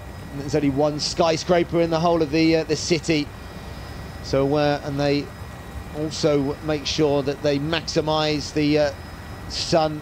Only 80 days of rain a year, so uh, much of uh, the city's electricity comes from uh, solar power, and the the city itself is very, very clean. And they love their sport, love their physical activity. And given the nice weather, given the uh, the beautiful parks as well, with some good chats with various people that kept telling us where to run yesterday, Richard. We ran from the hotel uh, where we were staying to uh, the technical meeting where the elites were staying, and uh, there were a few more parks we could have ventured out for, weren't there? It's a beautiful city. You have to say that seems as though it's got everything. It's got these very famous monuments. It's got its history going back to Roman times. We were walking around yesterday seeing castles, we were seeing ruins, and then we were seeing the famous monuments around the cathedral uh, uh, Giralda. Um, it used to be, of course, a, the capital of Muslim Spain for five centuries, from the 7th to the 12th century, and then became more of a Christian base when uh, Ferdinand uh, kicked out the Muslims in the 12th century. So it's got history, and then now it's got its modern uh, buildings and parts of town. So a very, very attractive city to visit, and I'm sure a very a nice city to live in. Well, Deresa Geleta gone through 35 kilometres, and he looks as though he's got his rhythm back and it looks as though he might even be trying to drop the French athlete on his shoulder. This is the third place athlete. Well, look at this, Ayale. One minute and 10 seconds under his own national record at the 30 kilometre point. Having a look at his watch. Course record, sorry, the national record he set here in Seville uh, exactly a year ago when he finished fourth.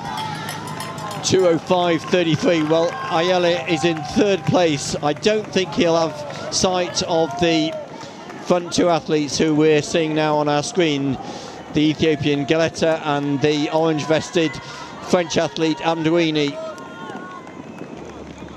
They are still running incredibly fast, 48 seconds under course record pace with just under just over seven, seven kilometres to run. There we can see they are maintaining that very, very fast pace. 42 seconds under the course record at halfway, and they're now 48 seconds under the course record pace. Remember the course record set here two years ago, two hours, four minutes and 43 seconds by Asrar Abderehman, who started to drop back at just short of the halfway point. Well, we were hearing from the race director yesterday that uh, Deresa Geleta was in great shape. He'd heard that from his management team, and he's he's proving just that. Well, look how well Gashau Ayale is running. Still looking very smooth at the 35 kilometre point on course for a national record. He seems to be clear in third place, but still some way back from our leading two athletes.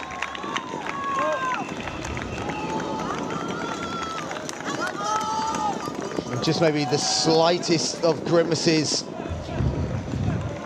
on Amdouni's uh, face, the uh, Frenchman who made that uh, concerted effort to get back in contention. The Geleta, and they're back to the elite women. And uh,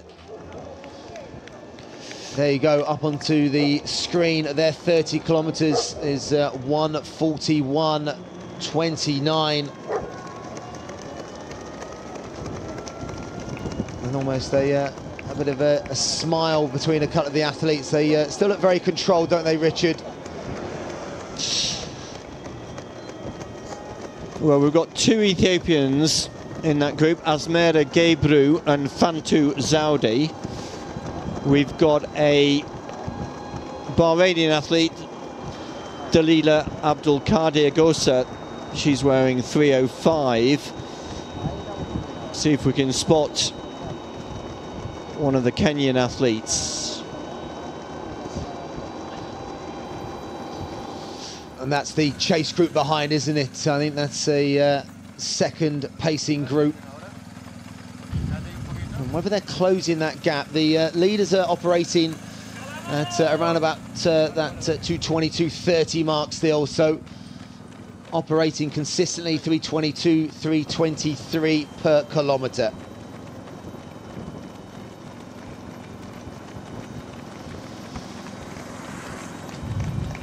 And uh, a great split screen there. And again, just confirmation of that uh, course record 30 kilometre split and the uh, current split today. So three minutes outside that. So we know the course record isn't being broken today. But uh, what it is is going to be a very good race into the uh, last few miles, last few kilometres here in Seville.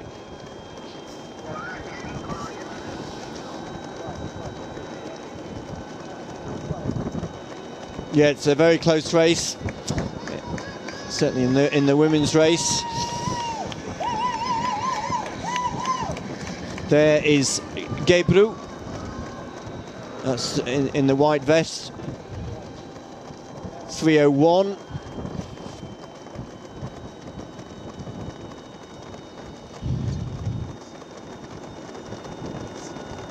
Abdul Qadir, the Bahrainian athlete just behind Gebru in the white and green, Dalila Abdul Qadir.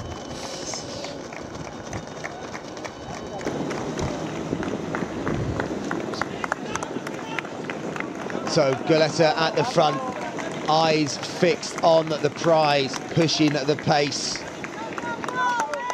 And look at that grimace behind, almost a chatting of the teeth. From Dwayne there, it, you can see the pain, can't you, Richard? What, what's it like when you get to that part of the marathon, a 2-8 marathon running yourself, and uh, when it starts to really, really dig in, what are you thinking at this point? Well, I think for Amdouni, you're absolutely right. He is just digging in and just grimacing and just trying to hold on because in some ways it's going to be more painful for him if he gets dropped by Geleta. So he's just trying to hang on for as long as he can. Uh, of course, we don't really know how much uh, the leader, Geleta's got left.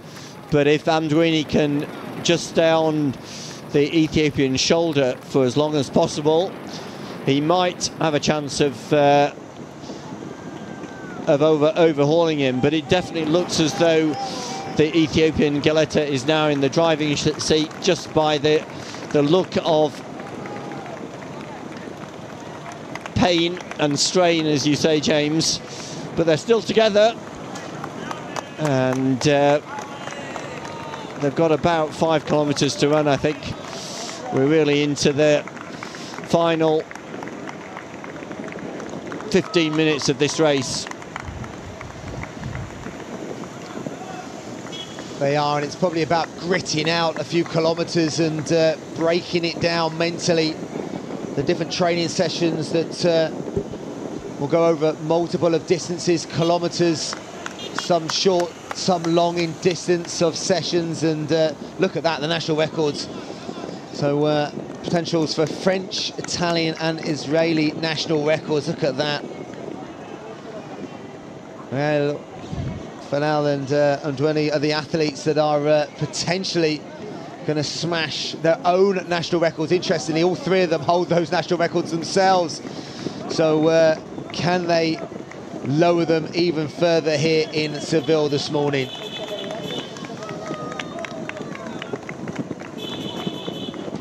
Well, Deresa Geleta, the Ethiopian in the white and blue vest, definitely looks as though he's he's trying to break the the Frenchman.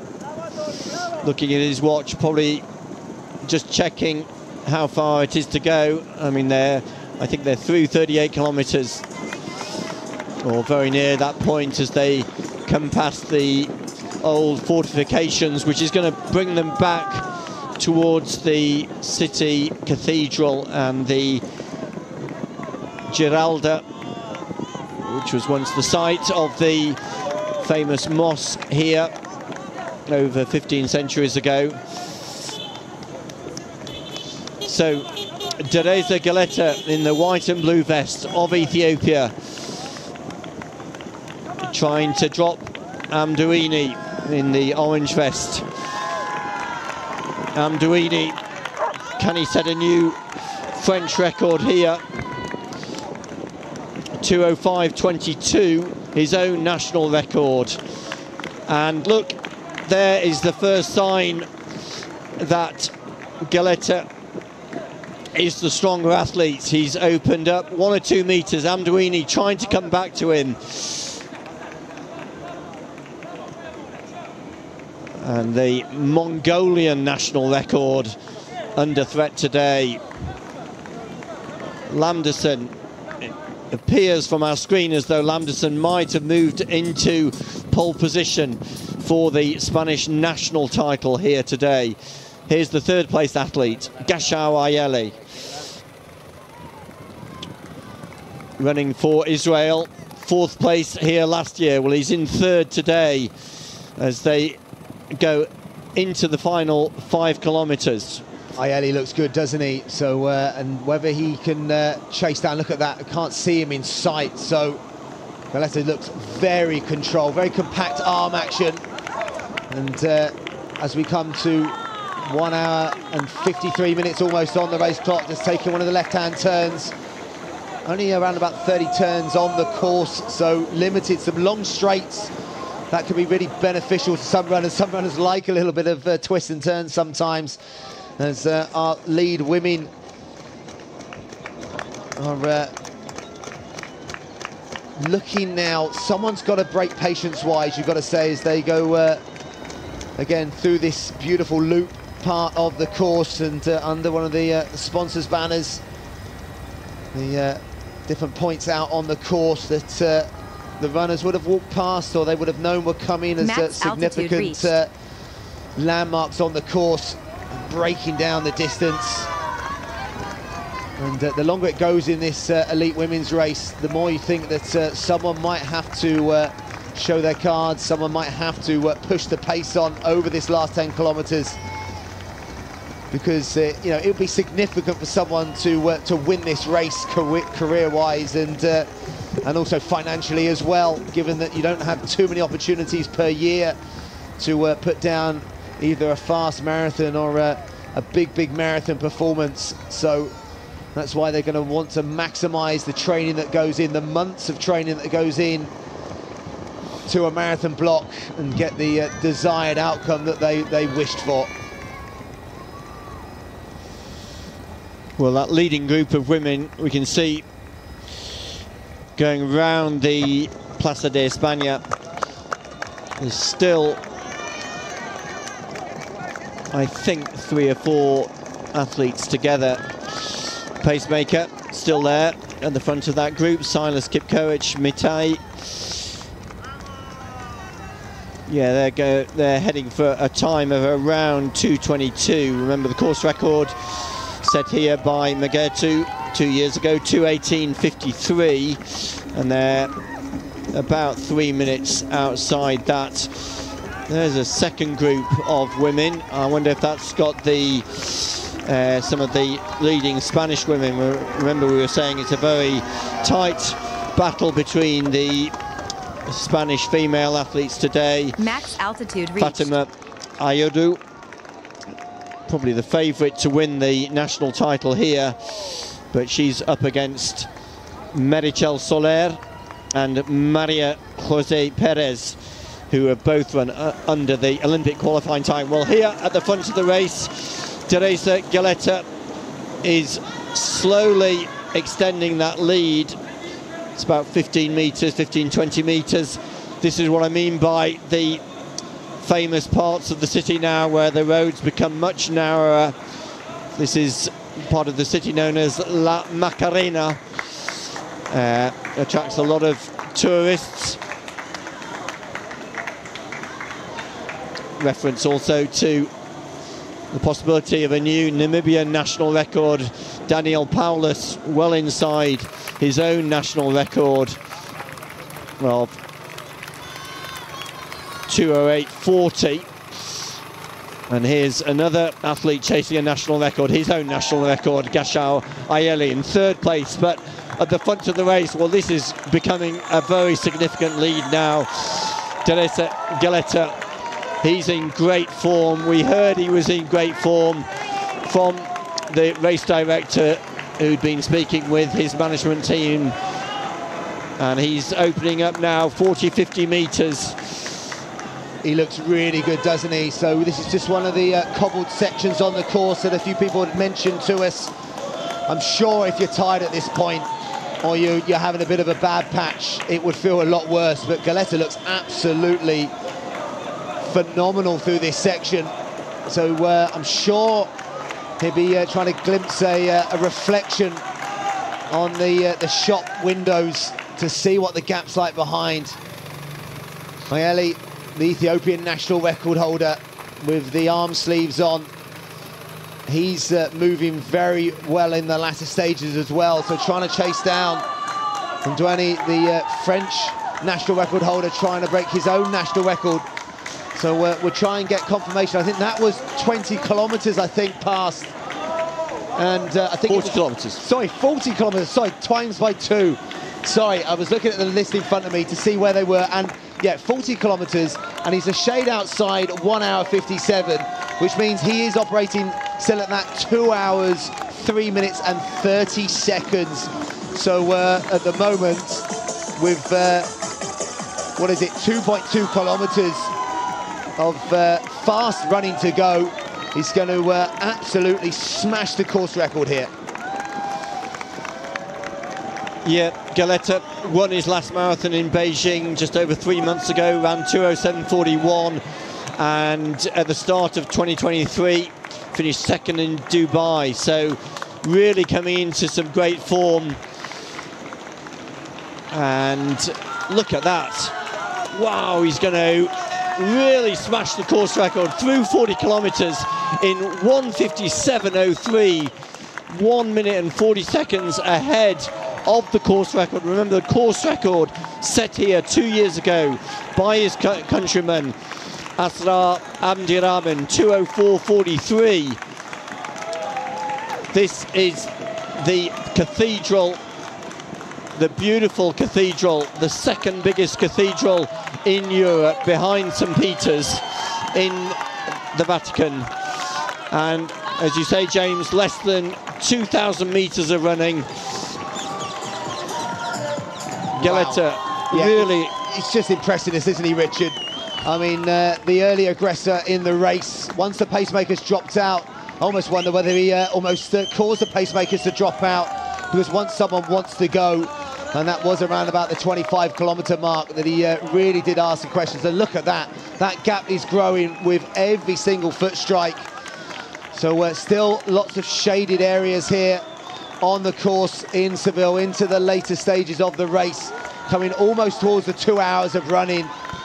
And uh, you said he was someone to look out for. He was someone that uh, put a really good block of training in. And I tell you what, this uh, last couple of kilometres, he can almost enjoy it with the, the gap just opening up. And uh, phenomenal bit of running as uh, the elite women on the right-hand side of your screen they're coming towards the two-hour mark of racing.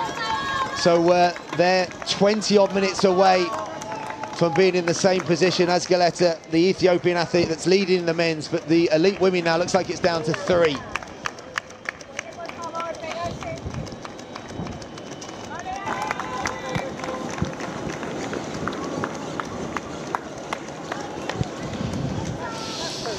So I think that's Magdalena Masai, the Kenyan athlete, one of the favoured athletes, and the Ethiopian Asmera Gebru. Yeah, no, Kiprotich is the other athlete in there as well. So uh, Josephine is the uh, third of those athletes touching that group. So uh, as they went through 35 kilometres, and uh, Gosa could also be there as well. So uh, looks like maybe four athletes in that uh, elite women's race as they pass 35 kilometres. Well, at the front of the race, Geleta just having to check himself, taking one of the, the final turns. There's Amdouni. Also running very, very strongly and also possibly heading for a new national French record. But at the front of the race, Deresa still looking really strong, striding out, extending his lead into the final few minutes of the race. He's going to come back down onto the Paseo de las Delicias in a few meters time and then take that left turn which will bring him into the finish straight with just over 400 meters to run. There we can see the clock. And there are our first two athletes. We're going to keep an eye on, on the clock. Well inside the course record pace. Yeah, the course record stands at uh, two hours, four minutes, and 43 seconds. But uh, at the moment, that is on very, very limited and borrowed time. As Geleta, the leader, out on the streets of Seville this morning. You can see a little bit of pain on his face, but that's because he is operating way inside his own personal best pace, operating way inside course record pace and he's going to put down some very impressive figures here in Seville this morning. So he's into the latter stages now. It's going to be the fastest time in the world for 2024 with some fast marathons to come as well. It's going to be one to be put out there to be chased. Into the finishing straight. And I think the athlete himself really doesn't know where the finish line is. There's so many of these arches that he's passing through, but he's got about 300 metres to run. Didn't didn't quite know. He, uh, I hope he's going to get the finishing line right. The finishing line right. He is, because he's just got a few hundred metres to go. Coming down. There's the finish tape. Now he knows he's won, and he smashed the course record Deresa Geleta becomes the new Seville Marathon champion in a stunning time. Oh, a brilliant time, brilliant run, and just a fraction outside the European record. Amdouni there, the Frenchman, but it's a new national French record by around about 90 seconds. He gave the European record a scare, and he gave almost uh, Geleta a scare as well when he caught him. They had a bit of interaction, but Deresa Geleta from Ethiopia is the new Zurich Seville marathon champion and course record holder. And the first time in the history of this marathon that two athletes have run under two, min- two hours and four minutes. So some really stunning performances from the first two athletes. There's the winner, course record, Deresa Geleta of Ethiopia. Holding aloft the uh, signage. There's a real battle for the podium, isn't there? And it's going to be the Israeli athlete, Gashau Ayale, takes the third spot and for the third place athlete, another national record and personal best going almost a minute under his existing best. Remember, finished fourth here last year, gone one better this year, third place, as you say, James, podium finish for Ayale. All three athletes. Oh, look at this. This is the Italian athlete, Yemane Crippa, Yemaneberhan Crippa is going to break the Italian national record and smash his own, own personal best. There's Abel Anton giving congratulations to Amdouni. But what a time now for Yemaneberhan Crippa is going to set a new Italian national record, finishing very, very strongly. He is, he's running very well. Faniel, I don't think, came through on the uh, results in front of us, so he was there or thereabouts, the other Italian out on the course, so Crippa, if that is confirmed, is a new Italian record. Because uh, Faniel was out there, wasn't he, for so much of it, and I uh, I didn't see him drop off. But uh, Crippa had been running around about the three minute per kilometre throughout the whole race. Now the time check is on, isn't it, for those Olympic qualifications? We've got just under two minutes to see who can get inside that uh, 2 8 10 clock in, but also who is going to be the first of our uh, Spanish finishers today. Who's going to take the national title for Spain? Lots of personal bests being set. There we've got our first two, and there is Crippa being congratulated. And no wonder, as his manager Demadonna said yesterday, an athlete who can run 27.10 for 10,000 metres and 59.26 for the half marathon. And there's the second Italian Eyob Faniel, so fading. Remember, he was in fourth place at the 30 kilometre point, being congratulated by Crippa, but it's Crippa. Yeah, he was inside his own national record. You're right. It was Crippa though who came through, who paced it better. He said he was going to take on less fluids, and uh, there was a little bit of a worry about that. But I tell you what, it's uh, it's come really well today. Look at that 207.34. Some people celebrating. They know they've got inside that Olympic qualifying. We're going to keep an eye, hopefully, on that uh, finishing line to see whether there's any of the British contingent inside that time. Oh, there's some delight. Look at that, the emotions. Trying to see who that is as they're rolling around on the floor. Uh, that's the Spanish athlete, Yes. Chabi, Ch- yes. Chakib, Ibrahim Chakir. Oh, Phil Sesemann. I think Phil Sesemann got inside it. There's Yes. Phil Sesemann. Brilliant run Oh. for Phil Sesemann. Look at that. Phil Sesemann, what a run. Inside 2.8.10. We'll wait for official confirmation of that. Big, big run.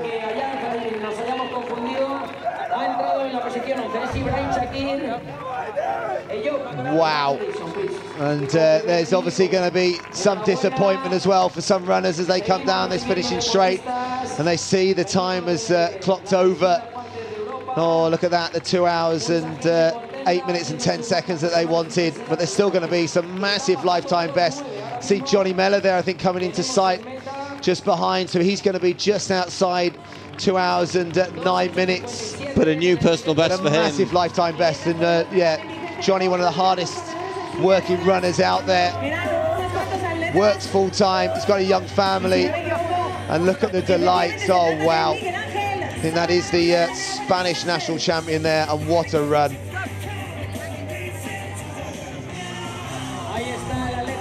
Look at the sheer numbers. I think inside two hours and ten minutes. I think that was the Mongolian athlete finishing in a new national, well, maybe just outside uh, Batachir's uh, national record, but under two hours and 10 minutes. So the look of delight on so many athletes as they come across. There's Lamdassem. Oh, he struggled, isn't he, in the latter stages? So I had Lamdassem hoping to make another Olympic team, but I think he struggled over the final few kilometres.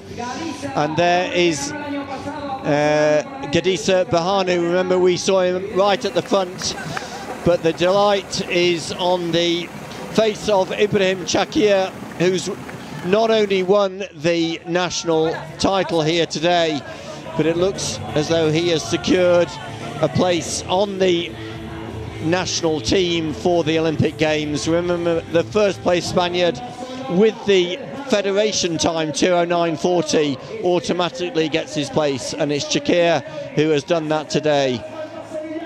Yeah, that's an absolutely massive run, and uh, you can just see the emotions there that uh, you know have uh, absorbed him at the end. So much hard training and for it to pay off today and book his place for Paris. Two hours, 10 minutes and 51 seconds. Look at the depth here of athletes still coming down towards that finishing line. Very, very fast running all round.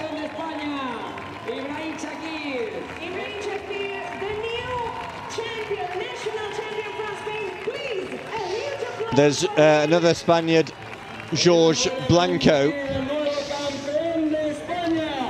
Yeah, Blanco's last time by 211.34. I think he's going to be inside that. So uh, real depth in this uh, Spanish National Championships.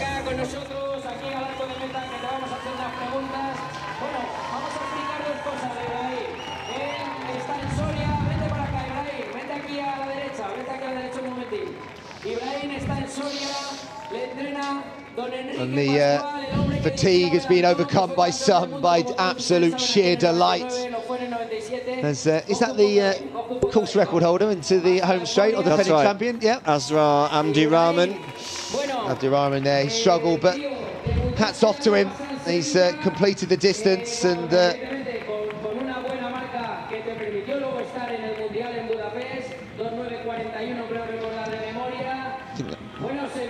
think that's uh, the Polish athlete uh, Adam Nowicki. He ran 209.48 last year, so a couple of minutes outside that. Todos los días entrenando en Soria, viendo la foto de Abel Anton entrando en el 99 y digo, es que me- se me ponía la piel. Roy Linlecker, the uh, American 208 flat. Wow. So uh, not many Americans here, given their American trials were a uh, just a few weeks ago.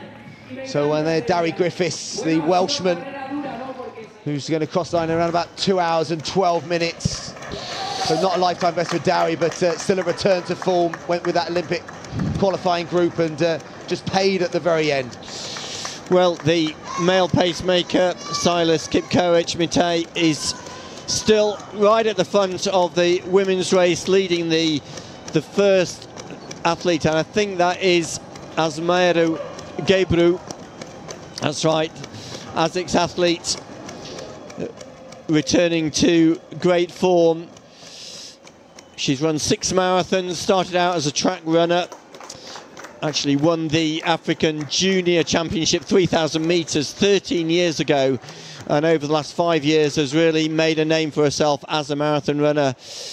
Uh, started out with some really good runs in Amsterdam in 2018 and 2019, f- finished second in Paris in the 2019 marathon, and she's come here today and it looks as though she has got a good lead now with the pacemaker leading up into the final two or three kilometres of this race. Yeah, running very well, and the uh, pacemaker has been there for uh, all of the kilometres so far, and uh, whether the chase group can close it down, it's going to be uh, really interesting. So two hours, 14 minutes. So we're uh, looking, I think, for that uh, 40 kilometre split, and that will signal around about seven minutes left of running. Look at that, that gap is starting to close, isn't it? I don't know whether they're aware that they're being chased down. But uh, yeah, that gap, I think, is around about uh, 10, 15 seconds. Yeah, it's just under 100, 100 metres, I think. The advantage that uh, Gebru's got as they go into this final section through La Macarena towards the cathedral is that she still has got the pacemaker who is towing her along. This is the Kenyan Chepkoech. Yeah, Gabriel looks good there.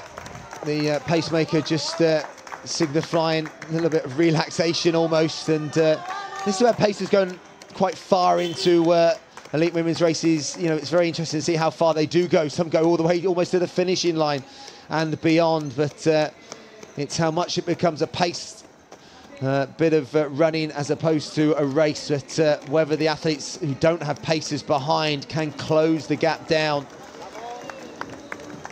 So uh, it's going to be very interesting in the uh, last couple of kilometres. So and there is the chaser behind. We're in uh, 440, so on the uh, list in front.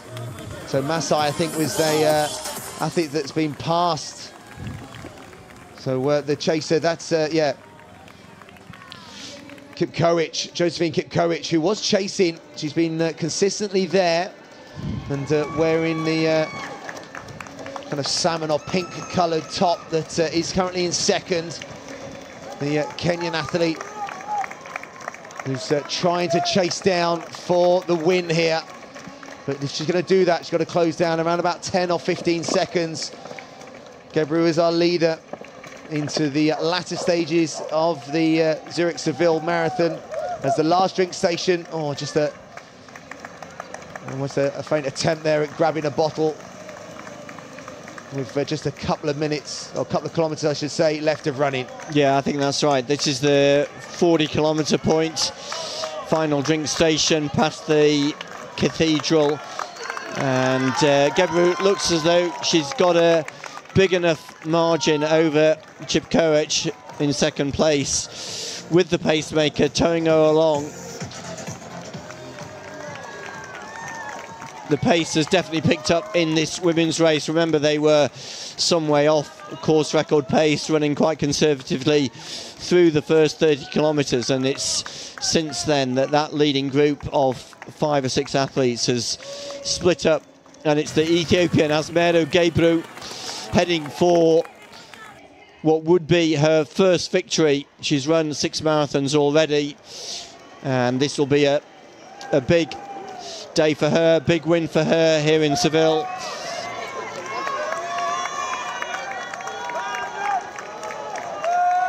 It would, and a good uh, side-on shot, and you can still see her uh, cadence, the uh, ground contact. She still looks very relaxed.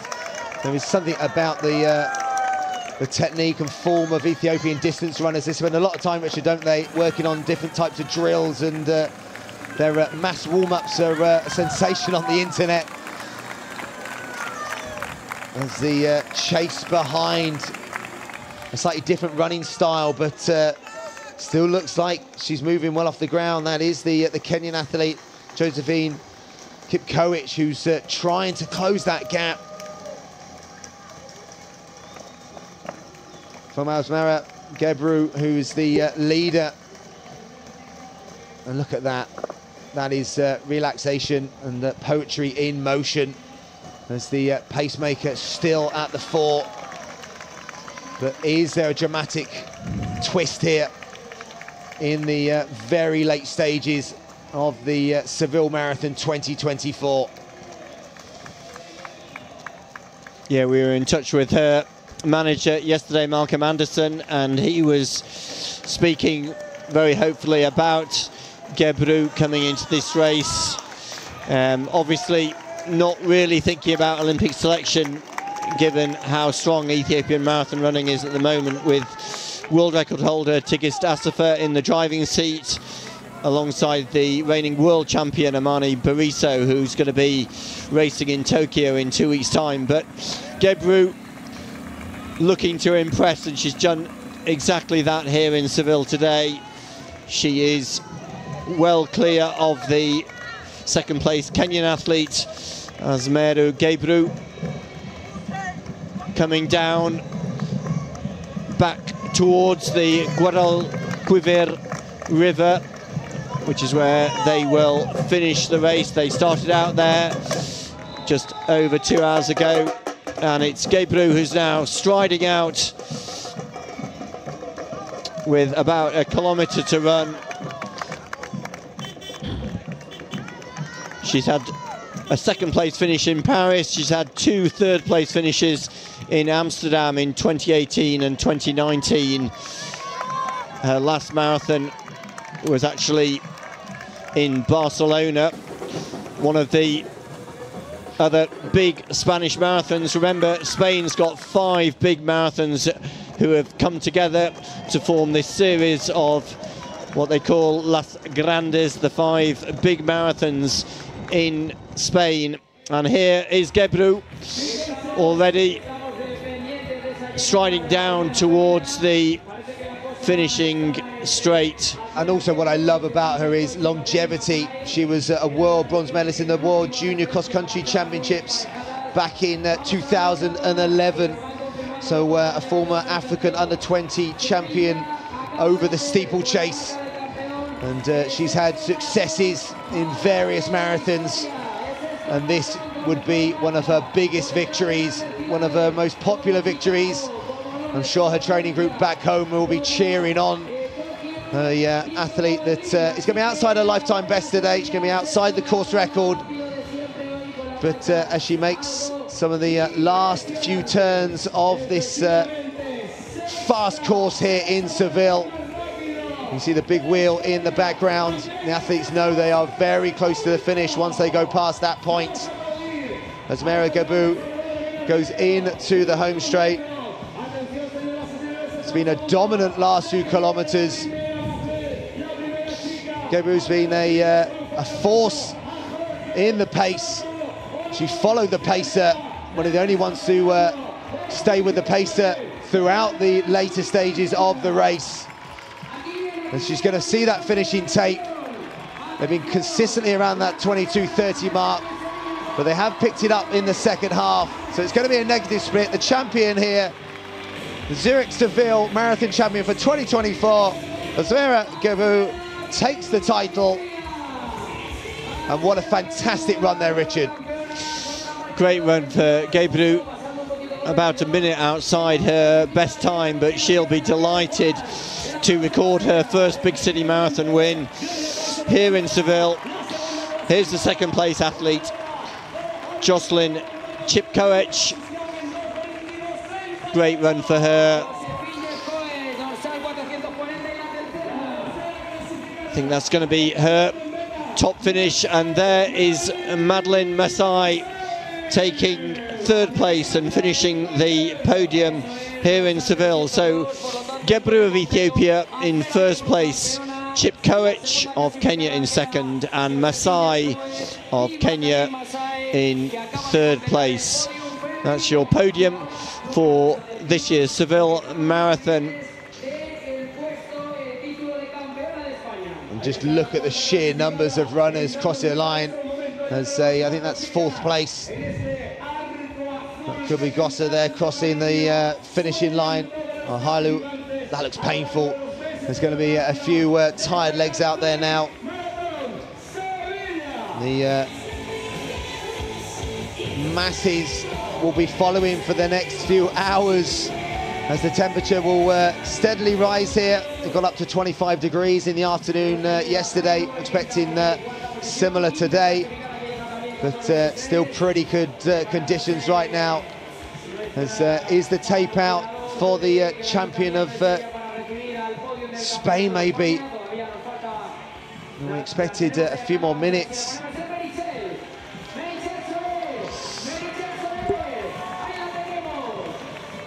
Where we're looking for the first Spanish athlete, and I think this is Fatima. Oh, that's sorry, that's uh, Borelli, uh, Florencia Borelli from Argentina, who has smashed her own Argentinian national record by around two and a half minutes. But I think just behind her was Fatima Ouhaddou, the first Spanish athlete, and she is well inside the Olympic qualifying. So, as we saw in the men's race, looks of utter delight on so many of these finishes. There's Esther Navarrete running her yes. debut marathon. 224.10 has come up. So uh, that's a fantastic piece of running. Her debut, and to debut with a 224, that is very, very fast running. And uh, just looking at the times coming through, wow, there are fast times just across the board as in there were in the men's. They're just trying to work out almost what positions they finish in in the uh, Spanish Championships as well. Yeah, well, I think I've got to correct myself. You're right, James, because I think Esther Navarrete has taken the Spanish national title and booked her spot for Paris. running her debut here, ran 69.58 for the half marathon in Valencia four months ago and came here hoping to impress and she's just done that. But it's going to be very interesting what the Spanish Federation do because they've got Fatima Ouhaddou. Uh, here's our top three finishers in the Spanish national title. There's Ibrahim Chakir, uh, a new lifetime best for him. And in second place, Ayad Lamdassem. Yeah, hard fought for title there and uh, very, very competitive. It was changing almost throughout. aproximadamente no tenemos todavía claro, pero marca personal mínima para los Juegos, campeón de España, vas a estar en París. Eh, la verdad que sí. Eh, los sueños se hacen realidad si los trabajas y, y los proteges y los sigues siempre, como tú sabes. Eh, todos los días hay difícil. Yo, bueno, eh, llevo toda una vida luchando por esto y no sabes cuándo cae, pero si, si sigues y lo trabajas duro, al final salen. Y así que muy feliz y podemos decir que podemos estar en, en París, así que más no se puede pedir.